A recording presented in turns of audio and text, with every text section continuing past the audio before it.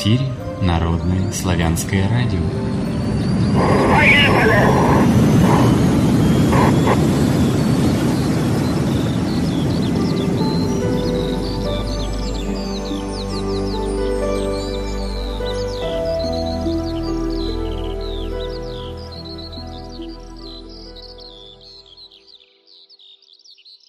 Всем здравия! С вами Народное славянское радио. Сегодня у нас 26 февраля 2016 года, пятница, по одному из современных календарей, по одному из старинных, 36 день месяца Югстужа 7524 лета, вторник.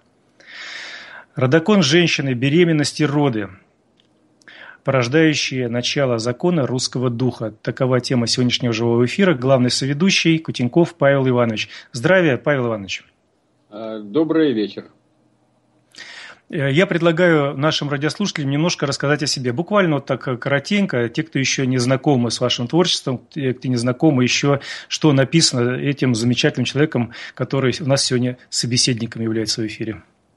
Э, спасибо за похвалу. Еще, видимо, ее не заслужил. Добрый вечер, уважаемые судари и сударыни. Я Кутенков Павел Иванович, исследователь русской народной культуры. Занимаюсь исследованием обрядов, обычаев, одежды, ну, во всех проявлениях, которые оно имеет. Э, исследования веду на основе полевых выездов, полевых походов. И эти исследования э, стараюсь довести до людей в виде своих э, работ, статей, книг по многим направлениям. Ну, в частности, Возможно, кто-то из вас читал мои книги. Это Ерга, свастика, знак русской народной культуры. Ерга, крест, знак Святой Руси, Ерга и свастика. Это вторая книга в этой области. Э, великорусская женская сряда, э, южнорусская народная одежда, ну, священные знаки в обрядах и срядах великорусов и другие книги.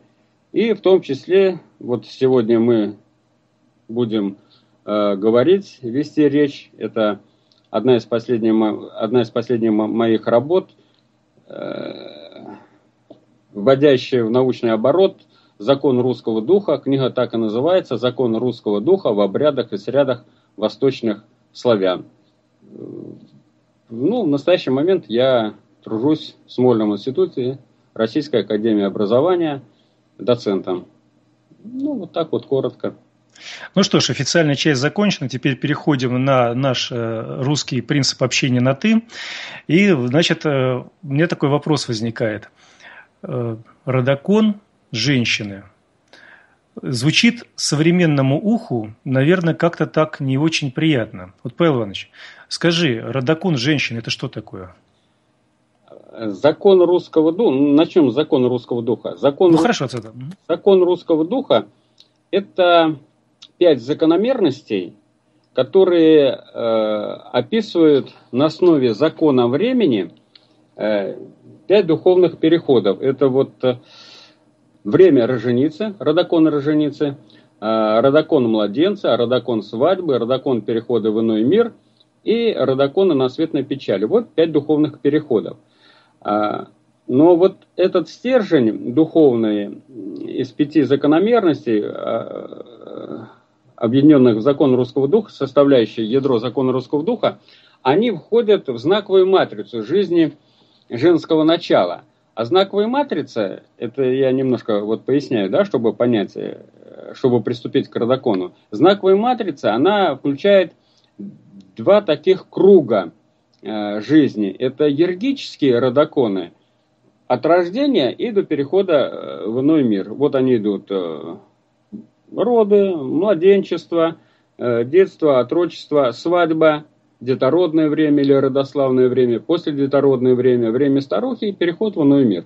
Вот это ергические родоконы. А потом э, второй малый круг э, – это сворожьи родоконы. Это праздники, это печаль, это, это младенчество, это свадьба – это вдовство, это время вековухи, время чернички и смертное время. Но если вот так вот коротко, вот два таких круга они составляют родоконы знаковой матрицы. И вот родоконы, законы русского духа, пять родоконов, они являются духовным стержнем. Так что такое родокон?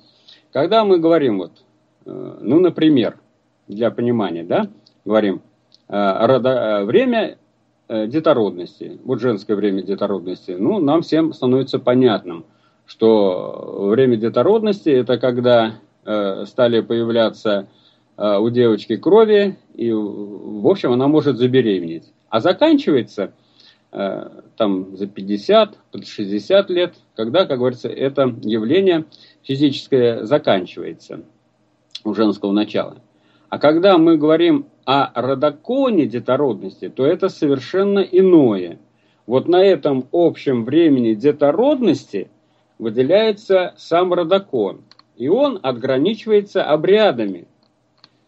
Э, время детородности начинается не с того момента, когда э, девушка может рожать, а с момента свадьбы, когда это освещается обрядом, когда это освещается родом, семьей, общиной. Это вот начало. А заканчивается время детородности э, у женского начала, у бабы уже э, в 40 лет. Или э, если старшие дети э, женились, вышли замуж раньше, то и раньше. Допустим, Александр Сергеевич Пушкин писал «Старая старуха уже 33 года». Для нас вот э, странно сегодня слышать такое выражение, как может быть старуха в 33 года быть старой. Да очень просто, в 14 лет вышел замуж, в 15, через 15 лет э, замуж выдала дочь, и уже к 33 э, годам у нее внуки появились. Все, на старой старуха, это, статус ее. То есть вот родокон – это то время, которое э, разрешает, освещает, э, выделяет на Э, вот, так скажем, общем поле детородности. Вот это родокон детородности. Точно так же и остальные времена, допустим, родокон э, праздника. Он уже праздник начинается с обряда и заканчивается обрядом. Вот и каждый вот это родокон в знаковой матрице, он имеет свое обрядовое начало и обрядовое завершение. И в, в стержне его, в ядре его лежит духовное начало. Вот это, собственно говоря, э, понятие родокона. Хорошо, Павел Иванович, вот смотри, когда ты дал столько много информации, мне как в анекдоте, когда папа что-то рассказывал мальчику про то, почему появляется коричневый народ, налет на яблочке, который он надкусил, и мальчик спросил, папа, а ты с кем сейчас разговаривал? Так вот, очень много информации ты дал, очень важно. Давай теперь расшифруем для наших радиослушателей эту информацию. Во-первых, было произнесено слово «ерга», «ярговые», да, символы. Вот что такое «ерга» для тех, кто еще не в курсе? Давай расшифруем. Э, ну, да, можно, конечно, дать понятие это, э, хотя мы все должны знать. Само ерга – это, э, это, в общем, жизнь. А в знаковом отношении она проявляется как крест с загнутыми концами. Или на санскрите это свастика – вот отсюда времена я назвал ергические, то есть э, те времена, которые дают, э, э, так скажем, кровно-родственную жизнь. Их никак не минуешь, вот, как говорится, от рождения до смерти. Их все пройдешь. Они ергические. Отсюда вот ерга идет. Собственно. Угу. Дальше сказал, что не только когда девушка созрела быть э, матерью, а тогда, когда община позволила быть, насколько я понял. То есть, что получается, если община сказала в 14 лет разрешила выйти замуж, то в 14, если в 16, то в 16. Получается так, да? Ну, э, почти так, но не совсем так. Э, время выхода замуж, она установлена в русской народной культуре, она освящена тысячелетиями нашего бытия, и оно определено, так скажем, вот такая устойчивая граница, это 14 лет.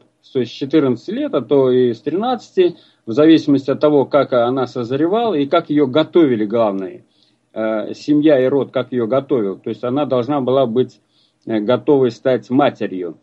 Э, вот с этого времени разрешалось за нее свататься. Но это во внешнем мире это делалось очень просто – на Троицу, там, на Купалу, на нее надевали определенные знаки, э, так скажем, венчики определенные, э, венки, ну, не венки не, не в плане вот цветов, а венки, так сказать, головные уборы определенные там, с определенными знаками. И все понимали, что за нее можно сваться. Или по Неву в некоторых местностях э, надевали на нее. И как она выходила на праздник, э, допустим, в Паневе и в Венке, все, вот э, за нее можно было идти свататься.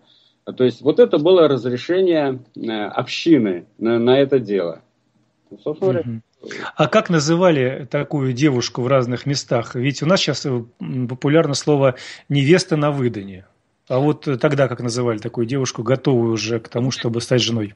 Вы знаете, ее называли по-разному в каждых местностях. Ну, вот э, названия такие, допустим, совершенные, да? Совершенная. Невеста совершенная. Были девки несовершенные, а девка совершенная. То есть, вот оно соверше, это очень интересное слово. Оно бытовало, в частности, в селе Секирина, Рязанской области. И сейчас она бытует, да? там это слово живет, вот она совершенная, вот ее называли. Вот она совершенная, все, за нее можно свататься. То есть совершенная в том, что она как э, женское начало созрела для создания, и совершенная в том, что приготовили сряду ее, сряду, то есть э, в то, в чем она должна была ходить бабой. Э, вот она совершенная. Э, в других местах называли невеста-паневница, то есть на нее надели паневу. Это знак, так скажем, вступления в половые отношения, знак посвящения, знак готовности стать матерью. Э, вот она называлась паневница. Ну и, в общем, в каждом, в каждом. Дело в том, что если мы попытаемся найти какие-то общие слова, мы их можем найти, конечно. Вот невеста на выдании, да, это так скажем, достаточно тоже распространенное название, она говорила, что да, ее можно выдавать, выдавать из рода, из семьи. Вот это, а в других местностях она, вот, как я сказал, могло быть и так, и эдак, так скажем. Но оно, оно э, определяло суть э, вот этого состояния и положения э, девичьего, так скажем, девки этой женского начала.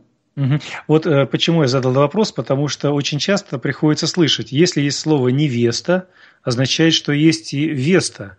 Есть ли какие-то упоминания вот об этом статусе весты, который превращается уже в невесту для того, чтобы выйти замуж? Вы знаете, вот вопрос здесь э, ведется серьезный, так скажем, э, спор по этому вопросу в научной литературе. Веста, невеста, невеста. Что это означает? Э, по моим сведениям, по моим исследованиям, получается следующее. Ну, нам говорят ученые, допустим, отдельные исследователи, что невеста, это значит, вот пришла девица, пришла молодуха, которую никто не знает, не слышал и не видел, вот ее привели, вот она невеста, не, вот она и невеста.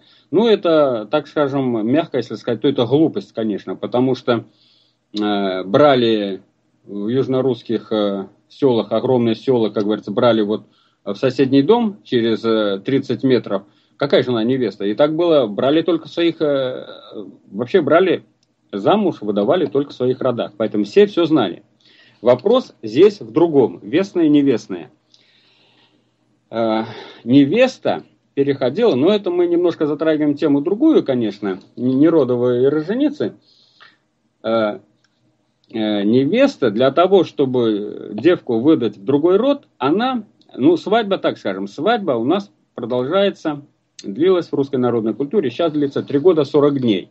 Так вот, по закону русского духа, для того, чтобы войти в пороговое состояние молодухи, невесты, нужно было 40 дней. И она с этого времени печалилась 40 дней, ну, с момента рукобития. Она печалилась, Потом начиналась, собственно, свадьба. Она входила э, в пороговое состояние, и затем был выход в течение трех лет по закону русского духа. Вот именно вот в это время она была невестная. На нее налагались многие запреты по роду, потому что она была перемещена в иной род. И просто ей это, так скажем, ну, в силу вот этих духовных взаимоотношений родов – в силу того, что ей нужно было возродиться три года, она была невестная. Вот откуда это идет. Угу, хорошо. Ну и это последний тоже термин надо расшифровать. Э, понятно, что когда Пушкин писал э, «старая старуха», то не имелось в виду возраст такой древний, как у нас сейчас представляют. Вот старуха пошла, еле ковыляет. Видимо, старуха – это некий статус, да, вот о чем ты сказал. Да. Появились внуки, значит, старуха. Вот давай здесь немножко расшифруем и дальше пойдем. Э, то есть вот э, старуха, вообще в русской народной культуре, старик и старуха – это не те согубенные люди, так сказать, э, преклонного возраста, а это статус в обществе. То есть как только у человека появлялись, как он только достигал первой ступени своего действия в этом мире, выдавал замуж или женил своих старших, он переходил в новый статус в общине – Э, статус стариков. То есть он, в общем-то, э, наделялся правом голоса старика. А старики вершили власть. Она им принадлежала. А раз этот человек э, родил, воспитал и дал продолжение уже, как говорится, других поколениях людей. То есть он э, стоит на правильном пути, он понимает. Вот поэтому оцени, оценивалась деятельность человека, ну, в общепринятом, в широком смысле, ну, исключая другие категории, там, воинов, жрецов, так скажем, у них э, другие статусы были, другие понимания в их отношении действовали. А здесь вот так вот. То есть старик это общинный родовой статус человека, достигшего, э, так скажем, значимых результатов на своем жизненном пути. Угу. То есть, грубо говоря, эти люди могли уже быть э, копенами, то есть вот копное право, если мы разбираем, которые да, принимали... Совершенно верно. Они могли они могли полностью, полностью, так скажем, э, ну, в отношении мужчины, э, как глава, он мог участвовать, так скажем, вот в этих стариковских собраниях в копном праве пользоваться правом голоса. Именно mm-hmm. вот в управлении, в решении вопросов общины и рода. Вот как много мы интересного подчеркнули, казалось бы, вот коснулись-то только начала, а уже сколько чего раскрылось. Кстати, сегодня мы играем в такую интересную игру. Я буду какие-то словечки вбрасывать так в своем э, лексикончике, а Павел Иванович меня будет поправлять с точки зрения, как бы это правильно было по-русски. Так что иногда не удивляйтесь, если у нас такие будут разговоры. Итак, э, продолжаем разбирать э, родокон женщины. И вот мы доходим до беременности, роды. Вот касаемо теперь беременности. Что об этом можно рассказать нашим радиослушателям? Вы знаете, вот родокон, э, родокон роженичества, родокон бабства или родокон матери, я его называю, он состоит из двух сложных состояний таких. Это э, обособленный, я называю его родокон беременности, потому что он непосредственно, непосредственно связан с родами и роженичеством, э, и время роженичества последующее.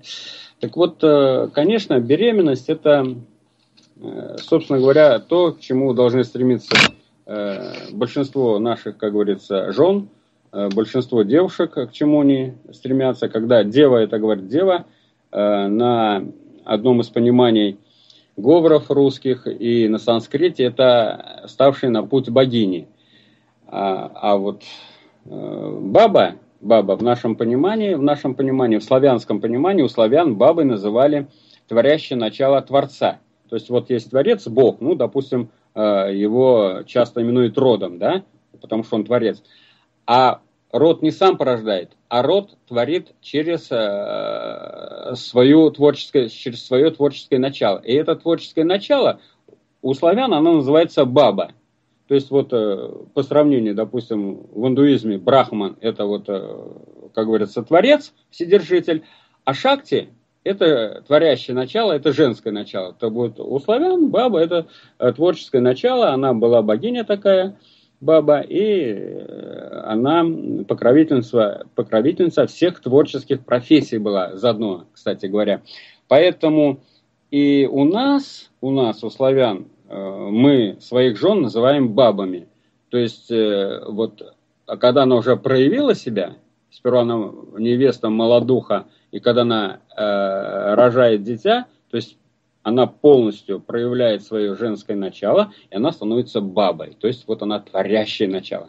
То есть это высшее имя, ну, оно, собственно говоря, характерно, я говорю, не только для славян, и, пожалуйста, в индуизме, у германских народов то же самое. Германские народы свою жену называли по имени верховной богини. Ну, допустим, фрау. Фрау. Фрау это Фрея, это верховная богиня германских народов. То есть вот мы выходим, так скажем, на понятие родокона бабства, родокона материнства. И беременность. Беременность э, в русской народной культуре отмеч, отмечена тем, что беременность считается э, ну, нечистая. Нечистая. Э, и ну, это широкое понятие, оно и сегодня в народе об нем знает, и в науке это обсуждается. И встает вот вопрос, который никто у нас не объясняет. Я скажу, просто как-то, так скажем, говорят, вот она нечистая. А почему она нечистая? Об этом не говорят. Ну, нечистая, она нечистая, и говорят, к тому же она опасная. Опасная она беременная, это прежде всего для таких же беременных, как она, для рожениц, для молодух. Опасна она для младенцев, и опасна она для вновь умерших. Вот. Э, вот этот вопрос, он очень интересный, и как нужно его э, понять, почему она вообще нечистая. Э, мы и дальше будем встречаться с этим понятием э, нечистотности женского и бабьего состояния. вот здесь вот первые, так скажем, встречаемся. В общем-то, вопрос, я вижу это очень просто, как показывают полевые материалы. Эм, беременная она испытывает переход, испытывает переход, духовный переход испытывает, а, и не только она, но переход испытывает и э, младенец, она двоедушная, то есть у ней две души. И вот в этом состоянии, в этом состоянии душа роженицы, душа младенца есть легкая добыча для нечистой силы. Для нечистой силы. То есть э, за такими состояниями охотится нечистая сила, потому что просто душа может быть забрана и у беременной, и у младенца. И нечистая она не потому, что она нечистая, а потому, что вот за ней, как бы так скажем, идет хвост вот этих нечистой. И отсюда ее идет нечистотность. То есть это опосредственное явление. Не она сама нечистая, не то, что она забеременела. Это не христианское понятие, это не буддийское понятие. Это, так скажем, э, еще каких-то иных. Это исконное понятие славянского э, родноверия, э, даже не понятие, это знание, что происходит э, с бабой, когда она беременеет, и почему ее нужно оберегать, и почему ей надо опасаться. Э, потому что когда она, как говорится, беременная идет где-то, да, за ней вот эти нечистые, так скажем, если она плохо защищена, то они, конечно, как говорится, э, вступают соприкосновение с ней, а так они как хвост у нее. И если ты попадешь в этот хвост, то ненароком эти э, нечистые сущности, они могут перекинуться на тебя. Не обязательно они перекинутся. Человек тоже э, все защищены, как говорится. Каждый по-разному, конечно, но такая возможность существует.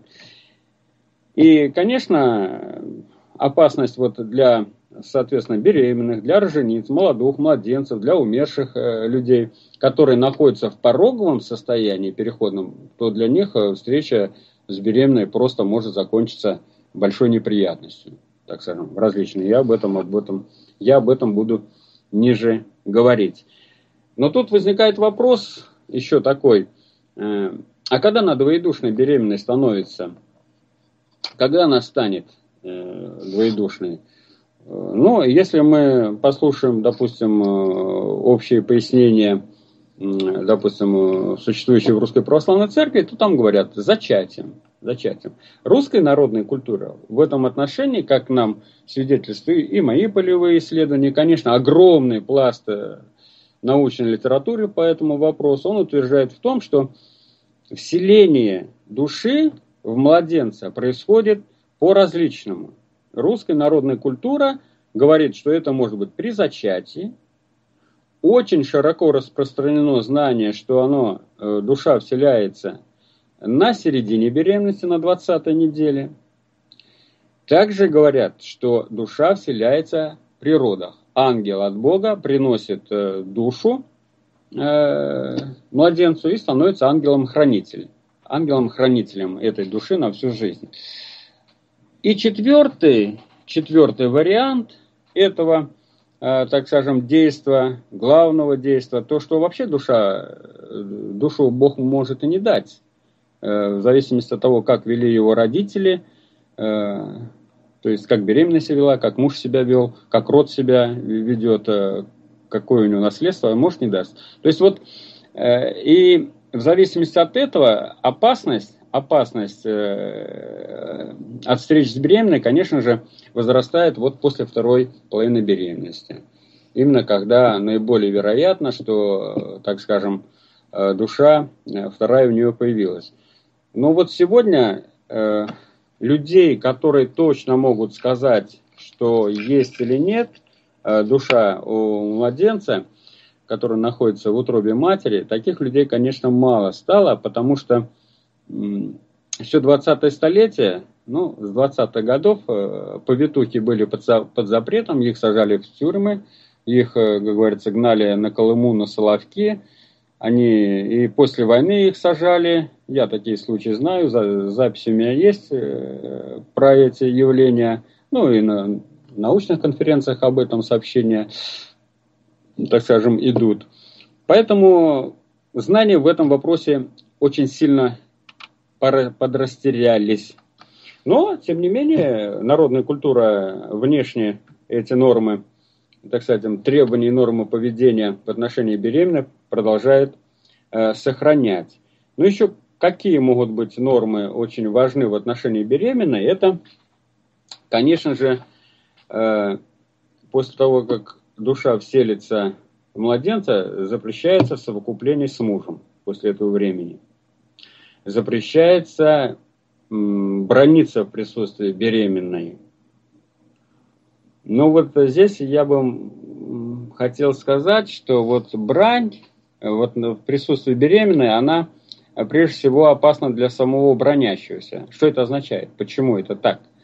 Э, не потому, что вот Э, там младенец что-то услышит, это тоже, конечно, э, неприятно будет. Или беременная испугается, через нее перейдет это на, на младенца. А потому что, опять же, около беременной есть нечистые. Нечистые, они питаются нашей духовной силой, многие из них. И вот когда человек, он бронится, э, ругается, он начинает терять контроль над собой у него вот эта вот злость там или еще какие-то виды духовной силы начинают э, исторгаться от него. И, собственно говоря, вот эти сущности темные, они начинают просто-напросто питаться и могут, так скажем, э, как утверждает э, русская народная культура, просто-напросто прихватываться к нему. И все, и он попадает под их зависимость, и нужно проходить обряд очищения. Поэтому вот русская народная культура – Конечно же, это дело предусмотрело и забота, с одной стороны, это о беременной, а с другой стороны, об этом же человеке. Вот. Э, то есть, вот э, эти нормы, они очень важны. Ну, беременную, конечно же, защищают, э, защищают ее очень часто ношением каких-то мужских вещей, ну, допустим, гашник, или, проще сказать, чтобы было всем понятно, это пояс мужской, мужнин пояс, или мужнин, как говорится, нижние э, подштаники, да, портки его она надевает. То есть вот нечистая в этом отношении, она каким-то образом, так скажем, э, просто-напросто в этом отношении э, шарахается от этих вещей, и, соответственно, будет э, беременная защищена. Э, у нас еще минуты есть. Мы можем как-то чуть пораньше перейти на музыкальную паузу, чтобы э, новую какой-то вопрос рассмотреть уже в следующей части? Здесь... Или есть буквально коротенькое что-то, несколько секунд? Еще есть несколько норм. Допустим, беременная нельзя смотреть на покойника, нельзя ходить на погост, э, нельзя переходить в иносветную печаль, то есть э, в состоянии печали, нельзя беременной участвовать в крещении, в именно речении детей.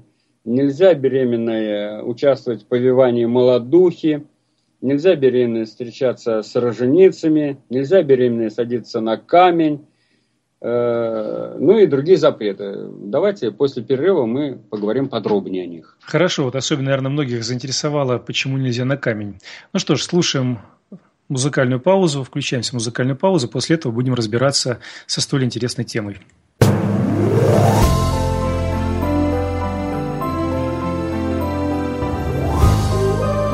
Слушаете Народное славянское радио.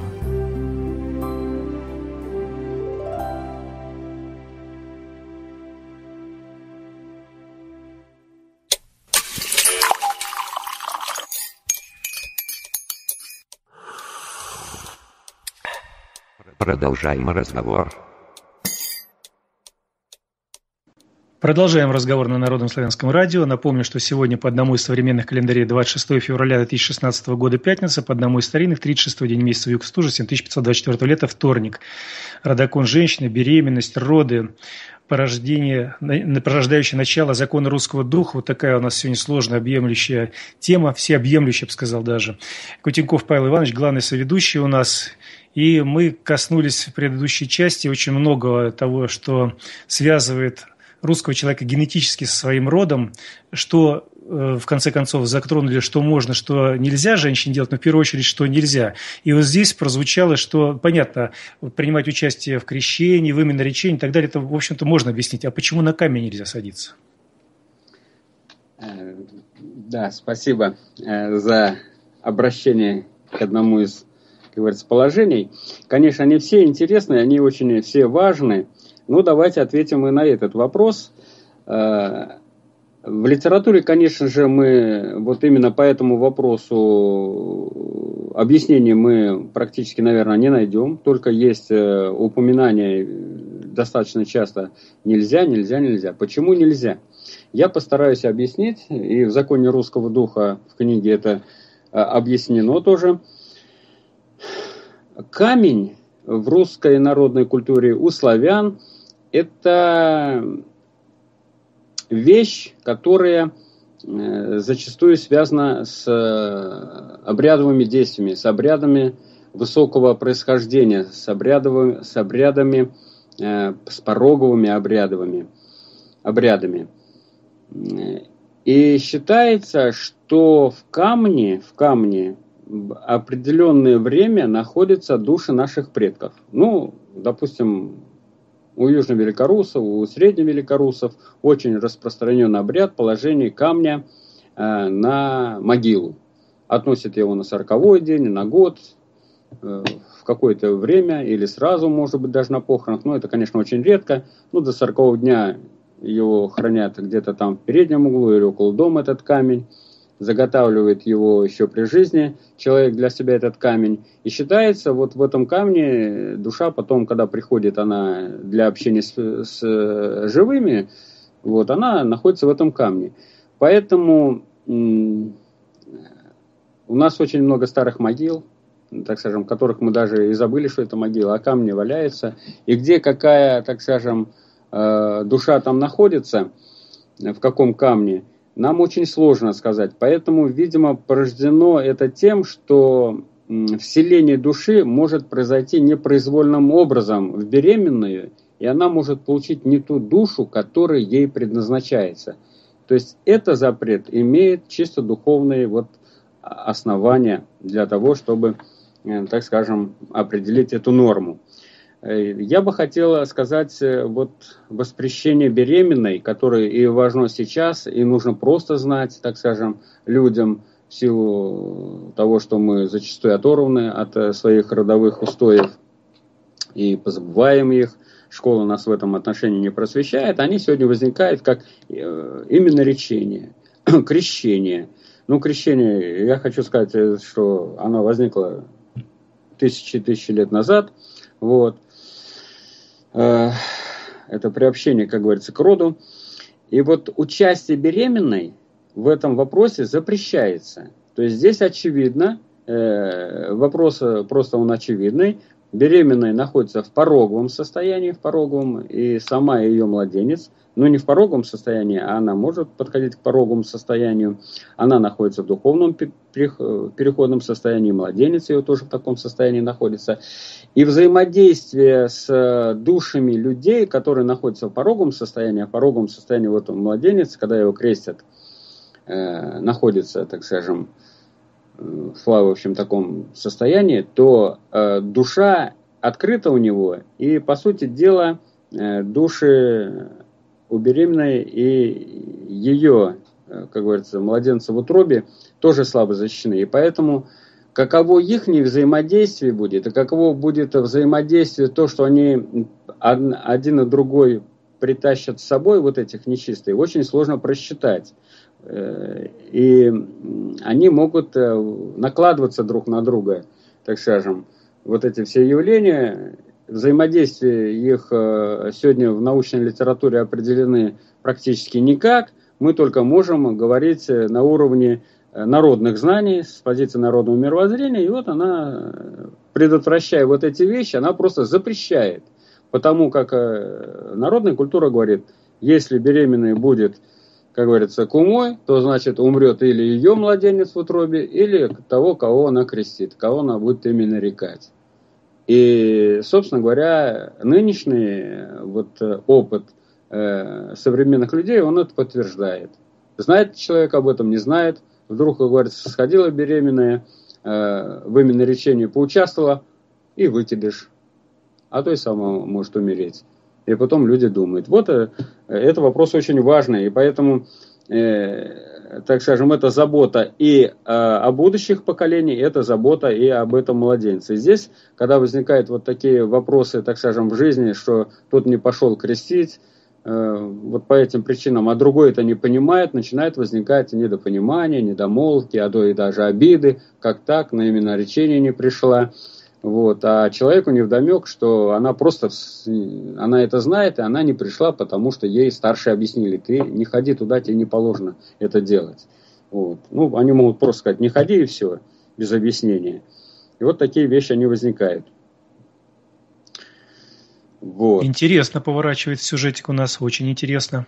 Ну, это так она есть. И, и еще можно сказать, вот запрет, запрет э, в русской народной культуре для беременных это переход вот в иносветное печальное состояние. То есть кто-то в семье умер, то беременную нужно обязательно убирать, э, так скажем, из избы, где покойник. Обязательно. Она до похорон не должна дома присутствовать, она не должна присутствовать на всех э, поминках до 40 дня. И только после 40 дня она может, собственно говоря, когда она после 40 дня, после, так скажем, проводов души умершего на тот свет, так скажем, одну из душ его, когда проводят, она может вот уже участвовать, так скажем, э, в поминках э, там на после 40 дня, на второй год, на третий год, когда идет эта печаль. А сама она в большую насветную, в большую насветную печаль, которая идет до 40 дней, как правило, так скажем, она не переходит это тоже запрет, вот он очевидный, связанный вот с таким явлением. Если она перейдет в большой насветную, в большую насветную печаль, то, так скажем, может э, или не разродиться, или младенец в природах умрет, или потом будет хиленьким и умрет. Ну, в общем, это связано вот э, с его духовным состоянием и, и физическим, переходящим на его, собственно говоря, говорить, естественное состояние. Павел Иванович, вот предлагаю еще немножко расшифровать. Здесь очень часто звучит цифра 40, вернее, по-русски число 40. Да. Почему 40, сороковина, 40 – это некое сакральное число, которое повсеместно в русском, и не только в русском, но и близких братских народах встречается постоянно? Э, ну да, вот я да, да, хотел бы поправить, конечно, вот это слово нам сейчас навязывает, сакральное. Это, в общем-то, она, конечно, индоевропейская, но это не русское, не славянское слово. У нас есть слово священное, духовное. Это наше слово. Потому что почему мы должны говорить на русском языке? Это очень важный момент. У нас сегодня, у нас уже давно, собственно говоря, идет замусоривание русского языка. Язык – это опора духа в культуре народа. Это опора. Вот. Потеряем язык, мы потеряем самую мощную духовную опору. А потеряв язык, как говорится, русский народ, собственно говоря, существовать не сможет.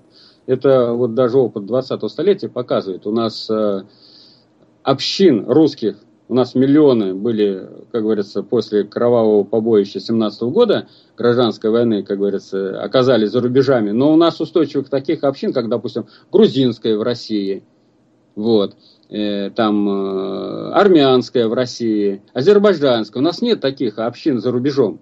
У нас нету таких вот, потому что русский дух, как говорится, он держится на языке и на земле. Это очень интересная вещь, мы коснемся в следующий раз. Поэтому язык мы должны беречь и говорить на своем языке. Это очень сильнейшее, как говорится, влияние на нашу с вами жизнь. бери, сберегая язык, мы сберегаем русский дух и сберегаем себя в этой жизни.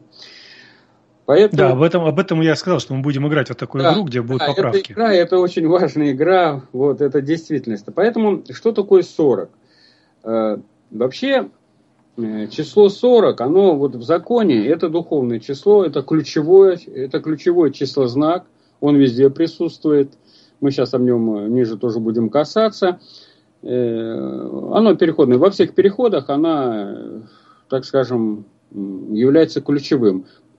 Что я не, не могу сказать, я думаю, мало кто скажет сегодня, за исключением отдельных людей на Земле, которые могут точно пояснить, э, так скажем, значение его, э, так скажем, содержательную сторону. Но вот э, некоторые смыслы я могу приоткрыть. Э, э, за 40 дней, за 40 суток, э, правильно сказать, за 40 перемен перехода Солнца через ночной, через ночной зенит, э, через ночной зенит, когда она переходит вот 40 раз, вот за это время происходят те события, которые переводят дух в устойчивое состояние. Э, из э, его порогового состояния, потом из порогового в духовном, ну, в пороговом состоянии там дух находится э, полутора до трех суток, а потом вот до 40 дней он, э, так скажем, в каком-то распростертом таком э, неравновесном состоянии, и вот за 40 дней он э, приближается, так скажем, он созревает, он созревает и переходит в устойчивое состояние. И вот для этого нужно 40 дней как говорится, э, собрать, если 100 э, баб и сказать, что вот вы забеременеете, и за один день там, или там 300 баб, и сказать, что вы за один день родите ребенка, так не бывает, да? Потому что нужно э, отходить 40 недель, беременность нормальная. Вот у нас сейчас тема это разговора. Поэтому здесь вот дух, дух святый, так скажем, дух святый, его время рождения, порождения, утверждения 40 дней. И на этом, собственно говоря, на этом числе, на одном из этих чисел стоит закон русского духа. Еще он стоит на Троице, так сказать, святой. Три года вот здесь тоже. Она три, три дня, три часа первые э, порогом переходит, три дня, а потом э, три года. Она везде число 3 присутствует. Но 40 дней это ключевое, поэтому вот оно у нас и присутствует везде. Угу. Хорошо. Так, дальше разбираемся, хорошо. Дальше, ну что, дальше давайте тогда, если по беременной, так скажем, пойдемте дальше к роженице к нашей. Да, я думаю, что сейчас вопросы к нам идут, и уже достаточно много вопросов, поэтому в конце мы все эти вопросы будем еще разбирать, и если что-то непонятно было сейчас или что-то упустили, то в вопросах мы это наверстаем. Нет, я хочу сказать, мы не то, что можем много упустили, потому что все рассказать э, вот в передаче, все рассказать про беременную, это, э, это очень сложно за одну передачу все упомянуть, поэтому да, как, когда будут какие-то вопросы, мы расширить какое-то понимание, какие-то вещи там углубить. Ну вот а то, что мы сейчас говорим, это вот в книге «Законы русского духа», там, там все это есть? Значит, э, смотрите, книга «Закон русского духа» – это строго научное издание, прошедшее, как говорится, рецензирование, внутреннее и внешнее. Она издана в научном учреждении. Вот. И поэтому, конечно, некоторых вещей, которые я здесь рассказываю, некоторых, э, оно, они там высказаны более опосредственно и более, так скажем, э, широко но многие там более подробно высказаны, о которых мы с вами вообще даже не касались, вот они затрагивались. Поэтому в книге там собран вообще огромный пласт по тем временам. Я скажу, когда книга вышла, так может быть для это самое для слушателей будет интересно. Первые, кто ее начали покупать, это повитухи. Вот, покупали пачками, так скажем, и распространяли среди повитух, потому что по этому вопросу литературы мало – а строго научной литературы еще меньше. Поэтому в этом отношении книга пользуется просто большим интересом. А там многие практические, так скажем, описаны обряды, которые нужно соблюдать роженицам. Хорошо, а если я хочу такую книгу приобрести, где ее можно купить? Как ее можно найти? Ну, я думаю, вот вышло второе издание. Сейчас э, второе издание сделала Москва. Радович, издательство.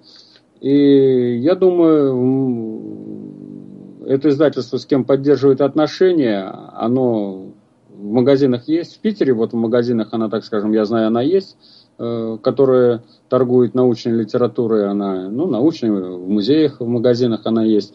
Поэтому я думаю, сейчас, э, ну, лучше всего, конечно, у Радовича, у него там и цены приемлемые достаточно. И второе издание сделали с цветными вклейками, как говорится, меня заставили поработать в первом, потому что там их не было, а во втором заставили цветные клейки, очень редкие фотографии, снимки музейные, музейные наших ведущих музеев России государственных. Э, вот, э, ну, постарались мы немножко, поэтому там можно и посмотреть какие-то знаки, так скажем, цвета, знаки узора, которые оберегают и роженицу, и младенца и беременную. Все это там можно увидеть. Угу.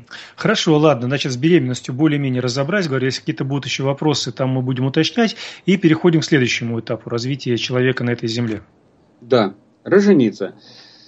Роженица. Роженица, как ни странно, когда начинаешь э, читать э, литературу, когда начинаешь э, говорить в полевых условиях со старухами, с бабками, которые говорят, о, да, рожалка это она нечистая.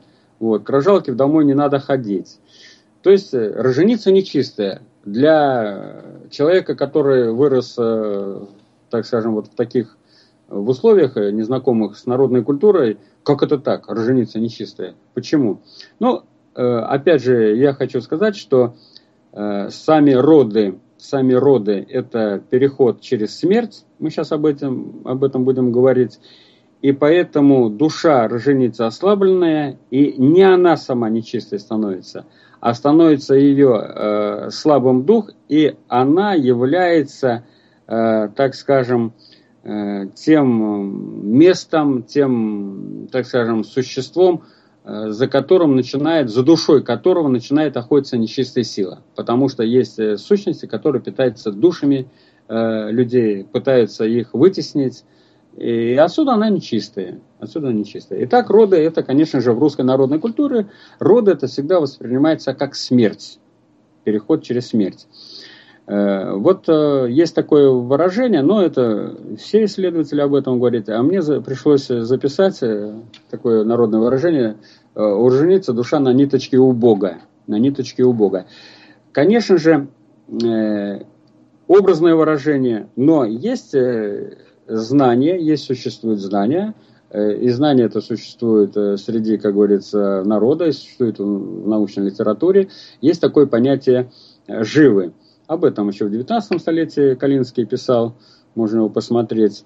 «Живо, джива» – это дева, образ девы, образ серебряной нити, образ такой нити, которая в виде благодати спускается на человека – и она, в общем-то, питает человека той э, жизнью, живой вот этой, покуда душа у него находится в теле, покуда, покуда его тело живо. И вот когда э, говорят про роженицу, что у нее душа на ниточке, то есть я предполагаю, что они подразумевают, и это сама присловие, пословица, она, конечно, родилась вот из этих э, понятий, очень тонких, очень, как говорится, образных и очень э, действительных, что роженица, э, ее исход, так как, скажем, зачастую и в прошлые века, и тысячелетия, и в нынешнее время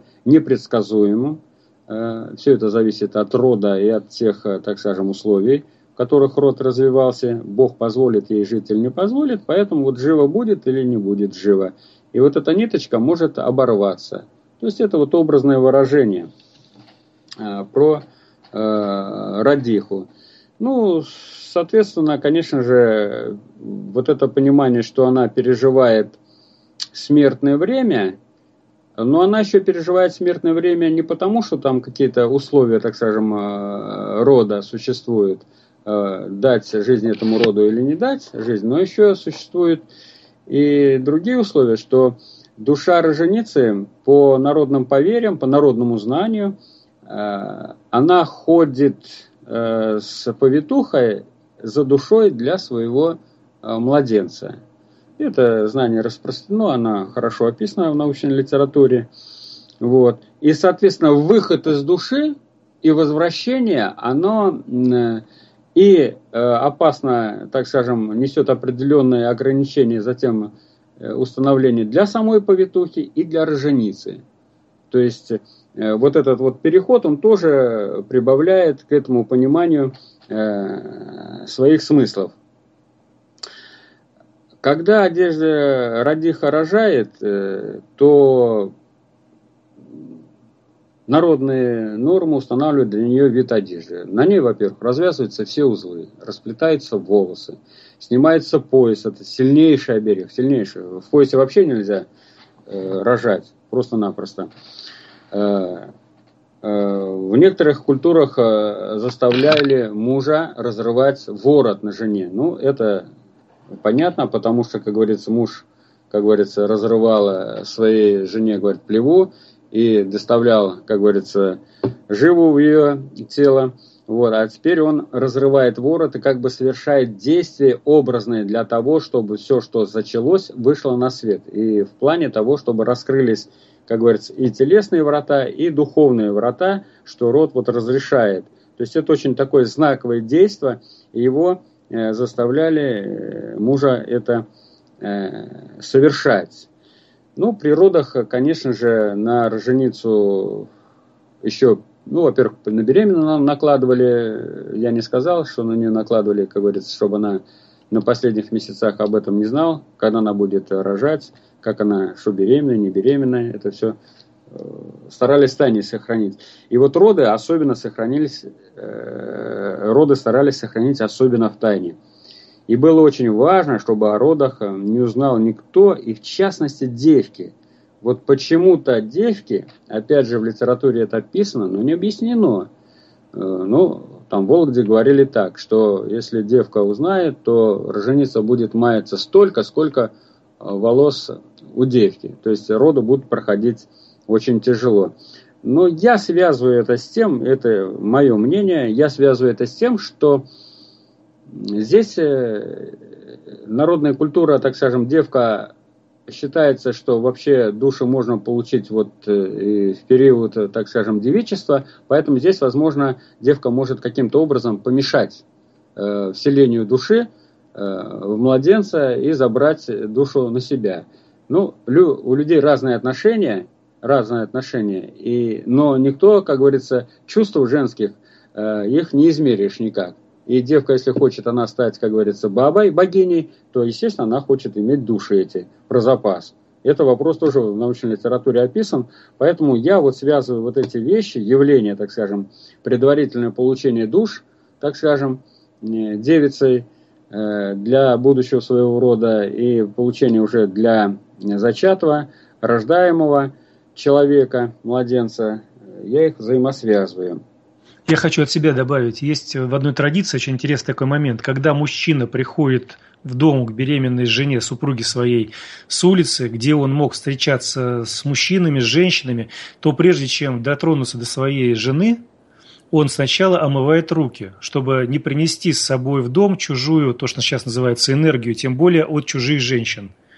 Вот это вот тоже мне, когда в свое время я об этом узнал, было так интересно. Но вот подтверждается это. Да, это тут, тут, тут, вопросы очевидные, потому что вот как у нас в наших молитвах положено, молитву творишь, нужно руки мыть, лицо мыть, как говорится, умывать и у мусульман это тоже, это у многих народов распространено, и это идет очень с древности, потому что на голые тела сущности, вот эти темные, да, их до революции у нас называли нечистики, они оседают на открытые, на открытые участки тела и поэтому их просто надо умывать. А когда жена беременная, то тут просто-напросто, так скажем, ну, многократно возрастает вот эта вот э, опасность того, что принесет нечистую для своей жены. И, и, и для роженицы, э, так скажем, женщинам, у которых были крови, им, а за ними тоже вот есть сущности, которые питаются вот этой, так сказать, э, силой, которая исходит из женской крови, им просто запрещалось посещать вот роженицы,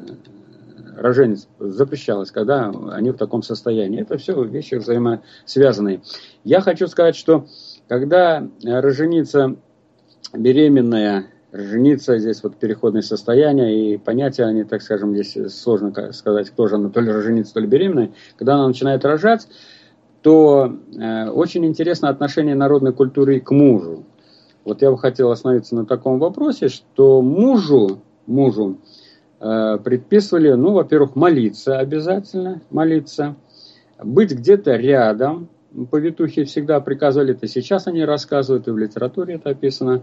Вот. Но в одной из культур описан такой момент, это в старой литературе, что значит, э, мужу, и он сегодня может показаться, так скажем, диким, но когда жена рожала, значит, мужу повитуха привязывала веревочку за яйца, и когда нужно было, когда роженица тужилась, она тянула за эту э, веревочку, и, естественно, муж хотел или не хотел, он тоже кричал, говорит, недровым матом. Вот.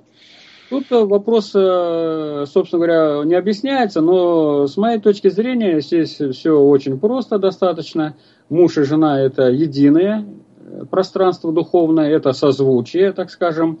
Свадьба их делала едиными, э, трехгодичная свадьба. И вот э, здесь духовная сила мужа, так скажем, э, вот она передавалась, как бы создавалось единое русло, единая нить, э, которая помогала, жена кричит и муж кричит, так скажем. Получается хор, вот как хор поет, э, какое-то такое совместное действие. Вот здесь получилось совместное, получается совместное духовное действие, и она помогала жене э, так скажем, проще рожать. Вот это использовалось. Э, очень использовался обряд, он и сейчас используется повитухами. Это если жена сразу не рожает, то муж три раза переходит через ее ноги. Туда-обратно, три раза. Это вот известные вещи. Я ее записал, и у других исследователей она описана, так скажем. Э, он в народной культуре применяется. Нам пора прерваться на музыкальную паузу. Хорошо. Я так вот слушал эти все моменты интересные, так в голову пришло. Первое, а не отрывалось ли когда-нибудь чего-нибудь у кого-нибудь после таких совместных эм, хоров? И второе, а после этого мужчина, он вообще еще мог что-то там после этого сделать? Ну ладно, об этом я думаю. Остановимся потом. Да, хорошо. В общем, музыкальная пауза. Думайте сами сейчас пока.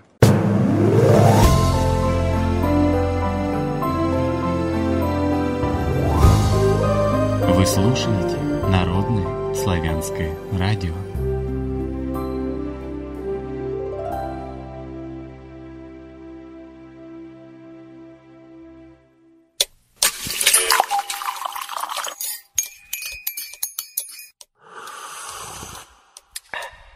Продолжаем разговор. Продолжаем разговор на Народном славянском радио. Напомню, что сегодня по одному из современных календарей 26 февраля 2016 года пятница, по одному из старинных 36 день месяца Вилкостужа 7524 лета вторник. Говорим мы о родоконе женщины, все, что здесь включено, и беременности, и роды. И главный соведущий у нас Кутенков Павел Иванович. Итак, продолжаем говорить про то, что происходило на родах, какие обряды, какие действия и так далее. А потом уже будем плавненько переходить к вопросам от наших радиослушателей. Э, продолжаем, уважаемые судари и сударыни. Ну, я бы хотел сказать, что, конечно же, представляется вот э, народную культуру э, не оторвать бы чего. Конечно, этого не было, все было в меру и все было согласовано. Я вам хочу сказать, что вот мной записано пояснение одних старых старух. Они говорили так, что, ну, там в одном большом селе я это записывал, когда были сложные роды, то для того и роженицы, как говорится, ну тяжело было, как говорится, мучилась, не получалось, тогда просто собирали совет о самых опытных э, повитух, самых опытных. То есть вот так, как это сегодня врачи собираются и советуются, так скажем, на своей, как говорится, конференции, вот, на своей вече. И они тоже собирались и советовались и принимали меры. Э, нельзя представлять, что до этого, как говорится, все было вот, так скажем, не так, как сегодня. Было достаточно значительно лучше.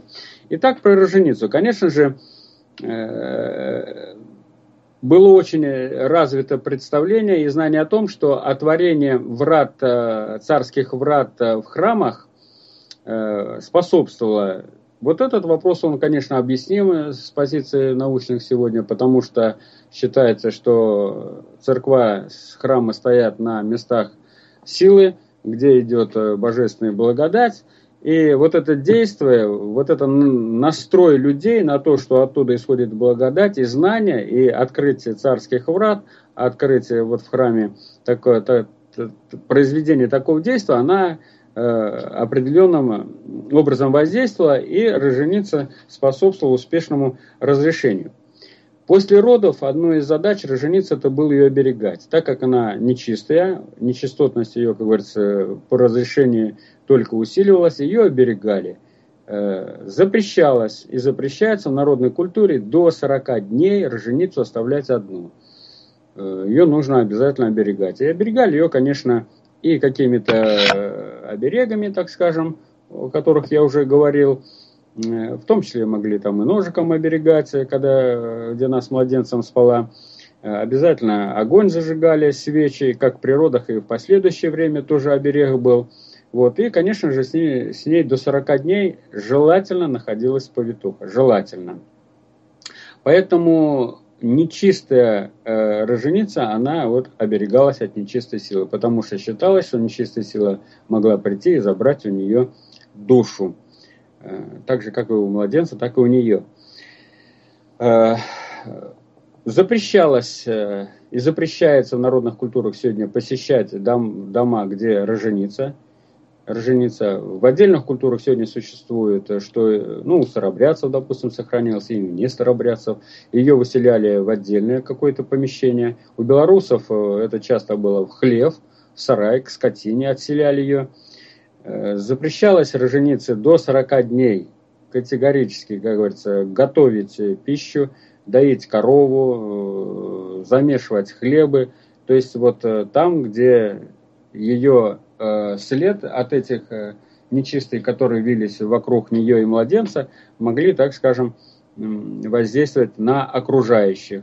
Поэтому защита шла по всем э, линиям. Как саму защищали роженицу, так и защищали окружающих людей и пространство от нечистой, которые вот старались изъять душу у нее и у младенца. Но в ряде местностей, в том же в селе Секерина, роженицу не, не показывали до года. До года ее никому не показывали. То есть сглаз, порча, э, порча э, в это время были особенно опасны для нее, поэтому ее просто охраняли.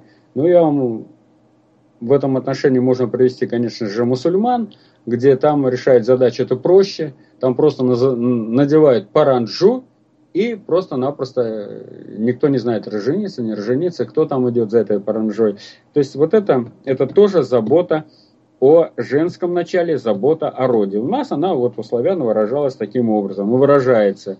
Мы защищаем, так скажем, роженицу э, в первую очередь, э, понимая, что происходит. Э, у белорусов, допустим, вот эти 40 дней, они, конечно же, делились там на 3 дня, на 9, на 20 э, обряды проводились. Э, у белорусов вот э, называлось время до 9 дней малая полога, до 40 дней большая полога. То есть ее могли завешать в каком-то угле полога и никому не показывали.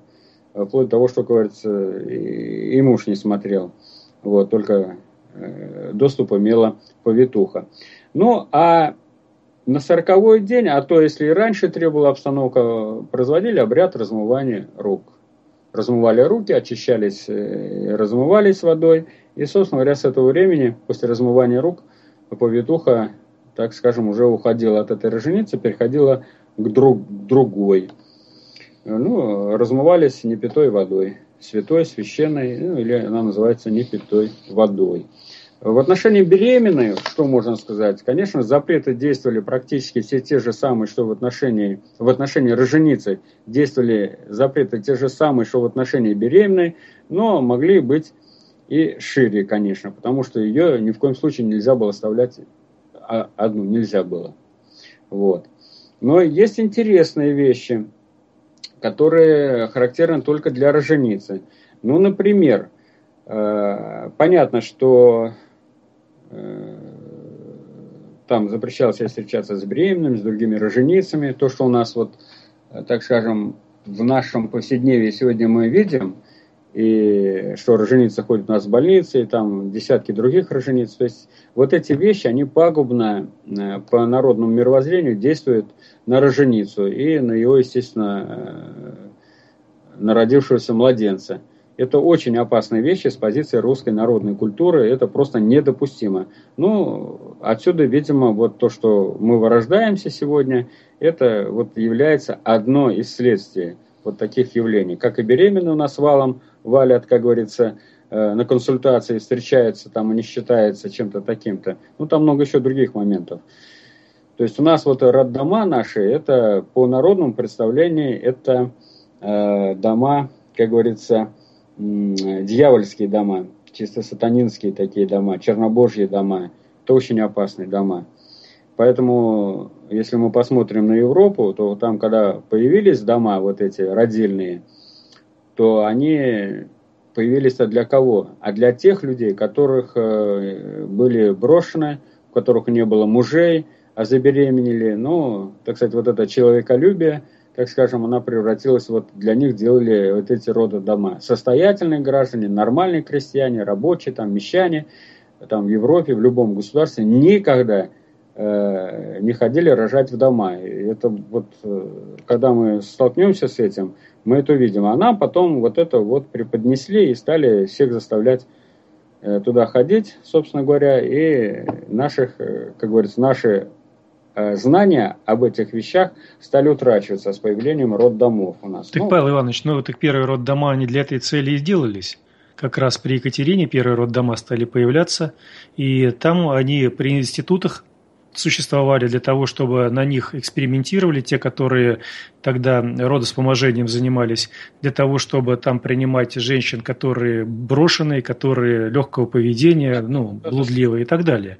В общем, отбросы, отбросы, так скажем, не сообщества, вот такое, так скажем, потерявшее свое родовое лицо, вот, но жизнь, как бы так сказать. Да, да, да. А вот уже такие массовые роддома, они как раз при советской власти стали культивироваться повсеместно, где уже именно ты должен рожать роддоме, да. потому что и до революции, и после революции любой уважающийся человек появлялся, вернее, любого уважаемого человека рождали дома, а не в роддоме. Да, ну да, это вот э, немножко отклонение, так скажем, здесь. Но это нам нужно знать, понимать, нужно нам самим понимать. Что интересно, роженице запрещалось э, трогать землю, копать землю. Запрещалось и запрещается сейчас. Ну, объясните это очень понятно, так скажем, земля, мать, это мать-кормилица, мать-родительница, матушка-земля – вот, она постоянно находится в переходном поражающем состоянии, в открытом, и вот соприкосновение как двух рожениц, роженицы нельзя соприкасаться с роженицей, то есть с теми людьми, которые находятся в переходных, духовных состояниях, ей нельзя рожениться, запрещается, так и здесь. То есть вот это очень интересное явление, и в русской народной культуре она описана. Вот мне это настолько четко Э, батьки, так скажем, говорили, да ни в коем случае, чтобы жениться там что-то копала там или сажала, или просто земли касалась, это нельзя.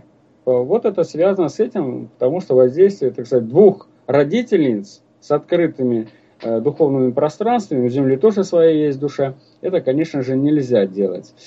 Э, нельзя э, роженицы на молитвах поминать своих родителей. Так вот э, в обычном, конечно же, надо их поминать постоянно и, и днем, и утром, и днем, и ночью, а роженица запрещается до 40 дня, лучше до года, не поминать. То есть до тех пор, пока не будет происходить зачатие новых, так сказать, э, родителей призывать нельзя, потому что они могут прийти и, соответственно, э, вселиться, так скажем, а, а тут а, а она не нужна, душа вот этого, она не для этого.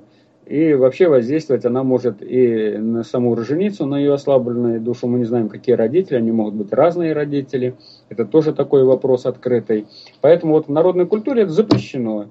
То есть эти родители не касайся. То есть духовного мира ты не касайся. Роженица, понятно, что запрещалось запрещается трогать свечки, священный огонь, трогать иконы, святые образа, как говорится, предков святых, людей, ну, посещать э, общественные места, обрядовые места, праздники посещать, э, ходить в церковь. Нельзя, конечно же, до сорокового дня. Ну и вот на сороковой день, на сороковой день роженица происходит обряд вот размывания – и э, обряд происходит э, получение банной молитвы. То есть э, на сороковой день делается баня, и получается банная молитва. В других местах она называется сороковая молитва, очистительная молитва. Вот. По-разному ее называют, но на сороковой день обязательно нужно, так скажем, пройдя вот это сорокауст родовой, нужно очиститься. Если, вот советский опыт очень интересный в этом отношении, показателен. Э, когда я спрашивал вот женщин, ну хорошо, а получилось так, что ты молитву не, не сходила в церковь, не получила там, потому что это желательно все же мужское начало должно обряд э, проводить очистительный. Она говорит, ну вот тогда до тех пор, покуда я не получала молитву, с мужем мне спать нельзя. То есть зачинать новые э, жизни, соответственно, нельзя. Это очень интересный момент.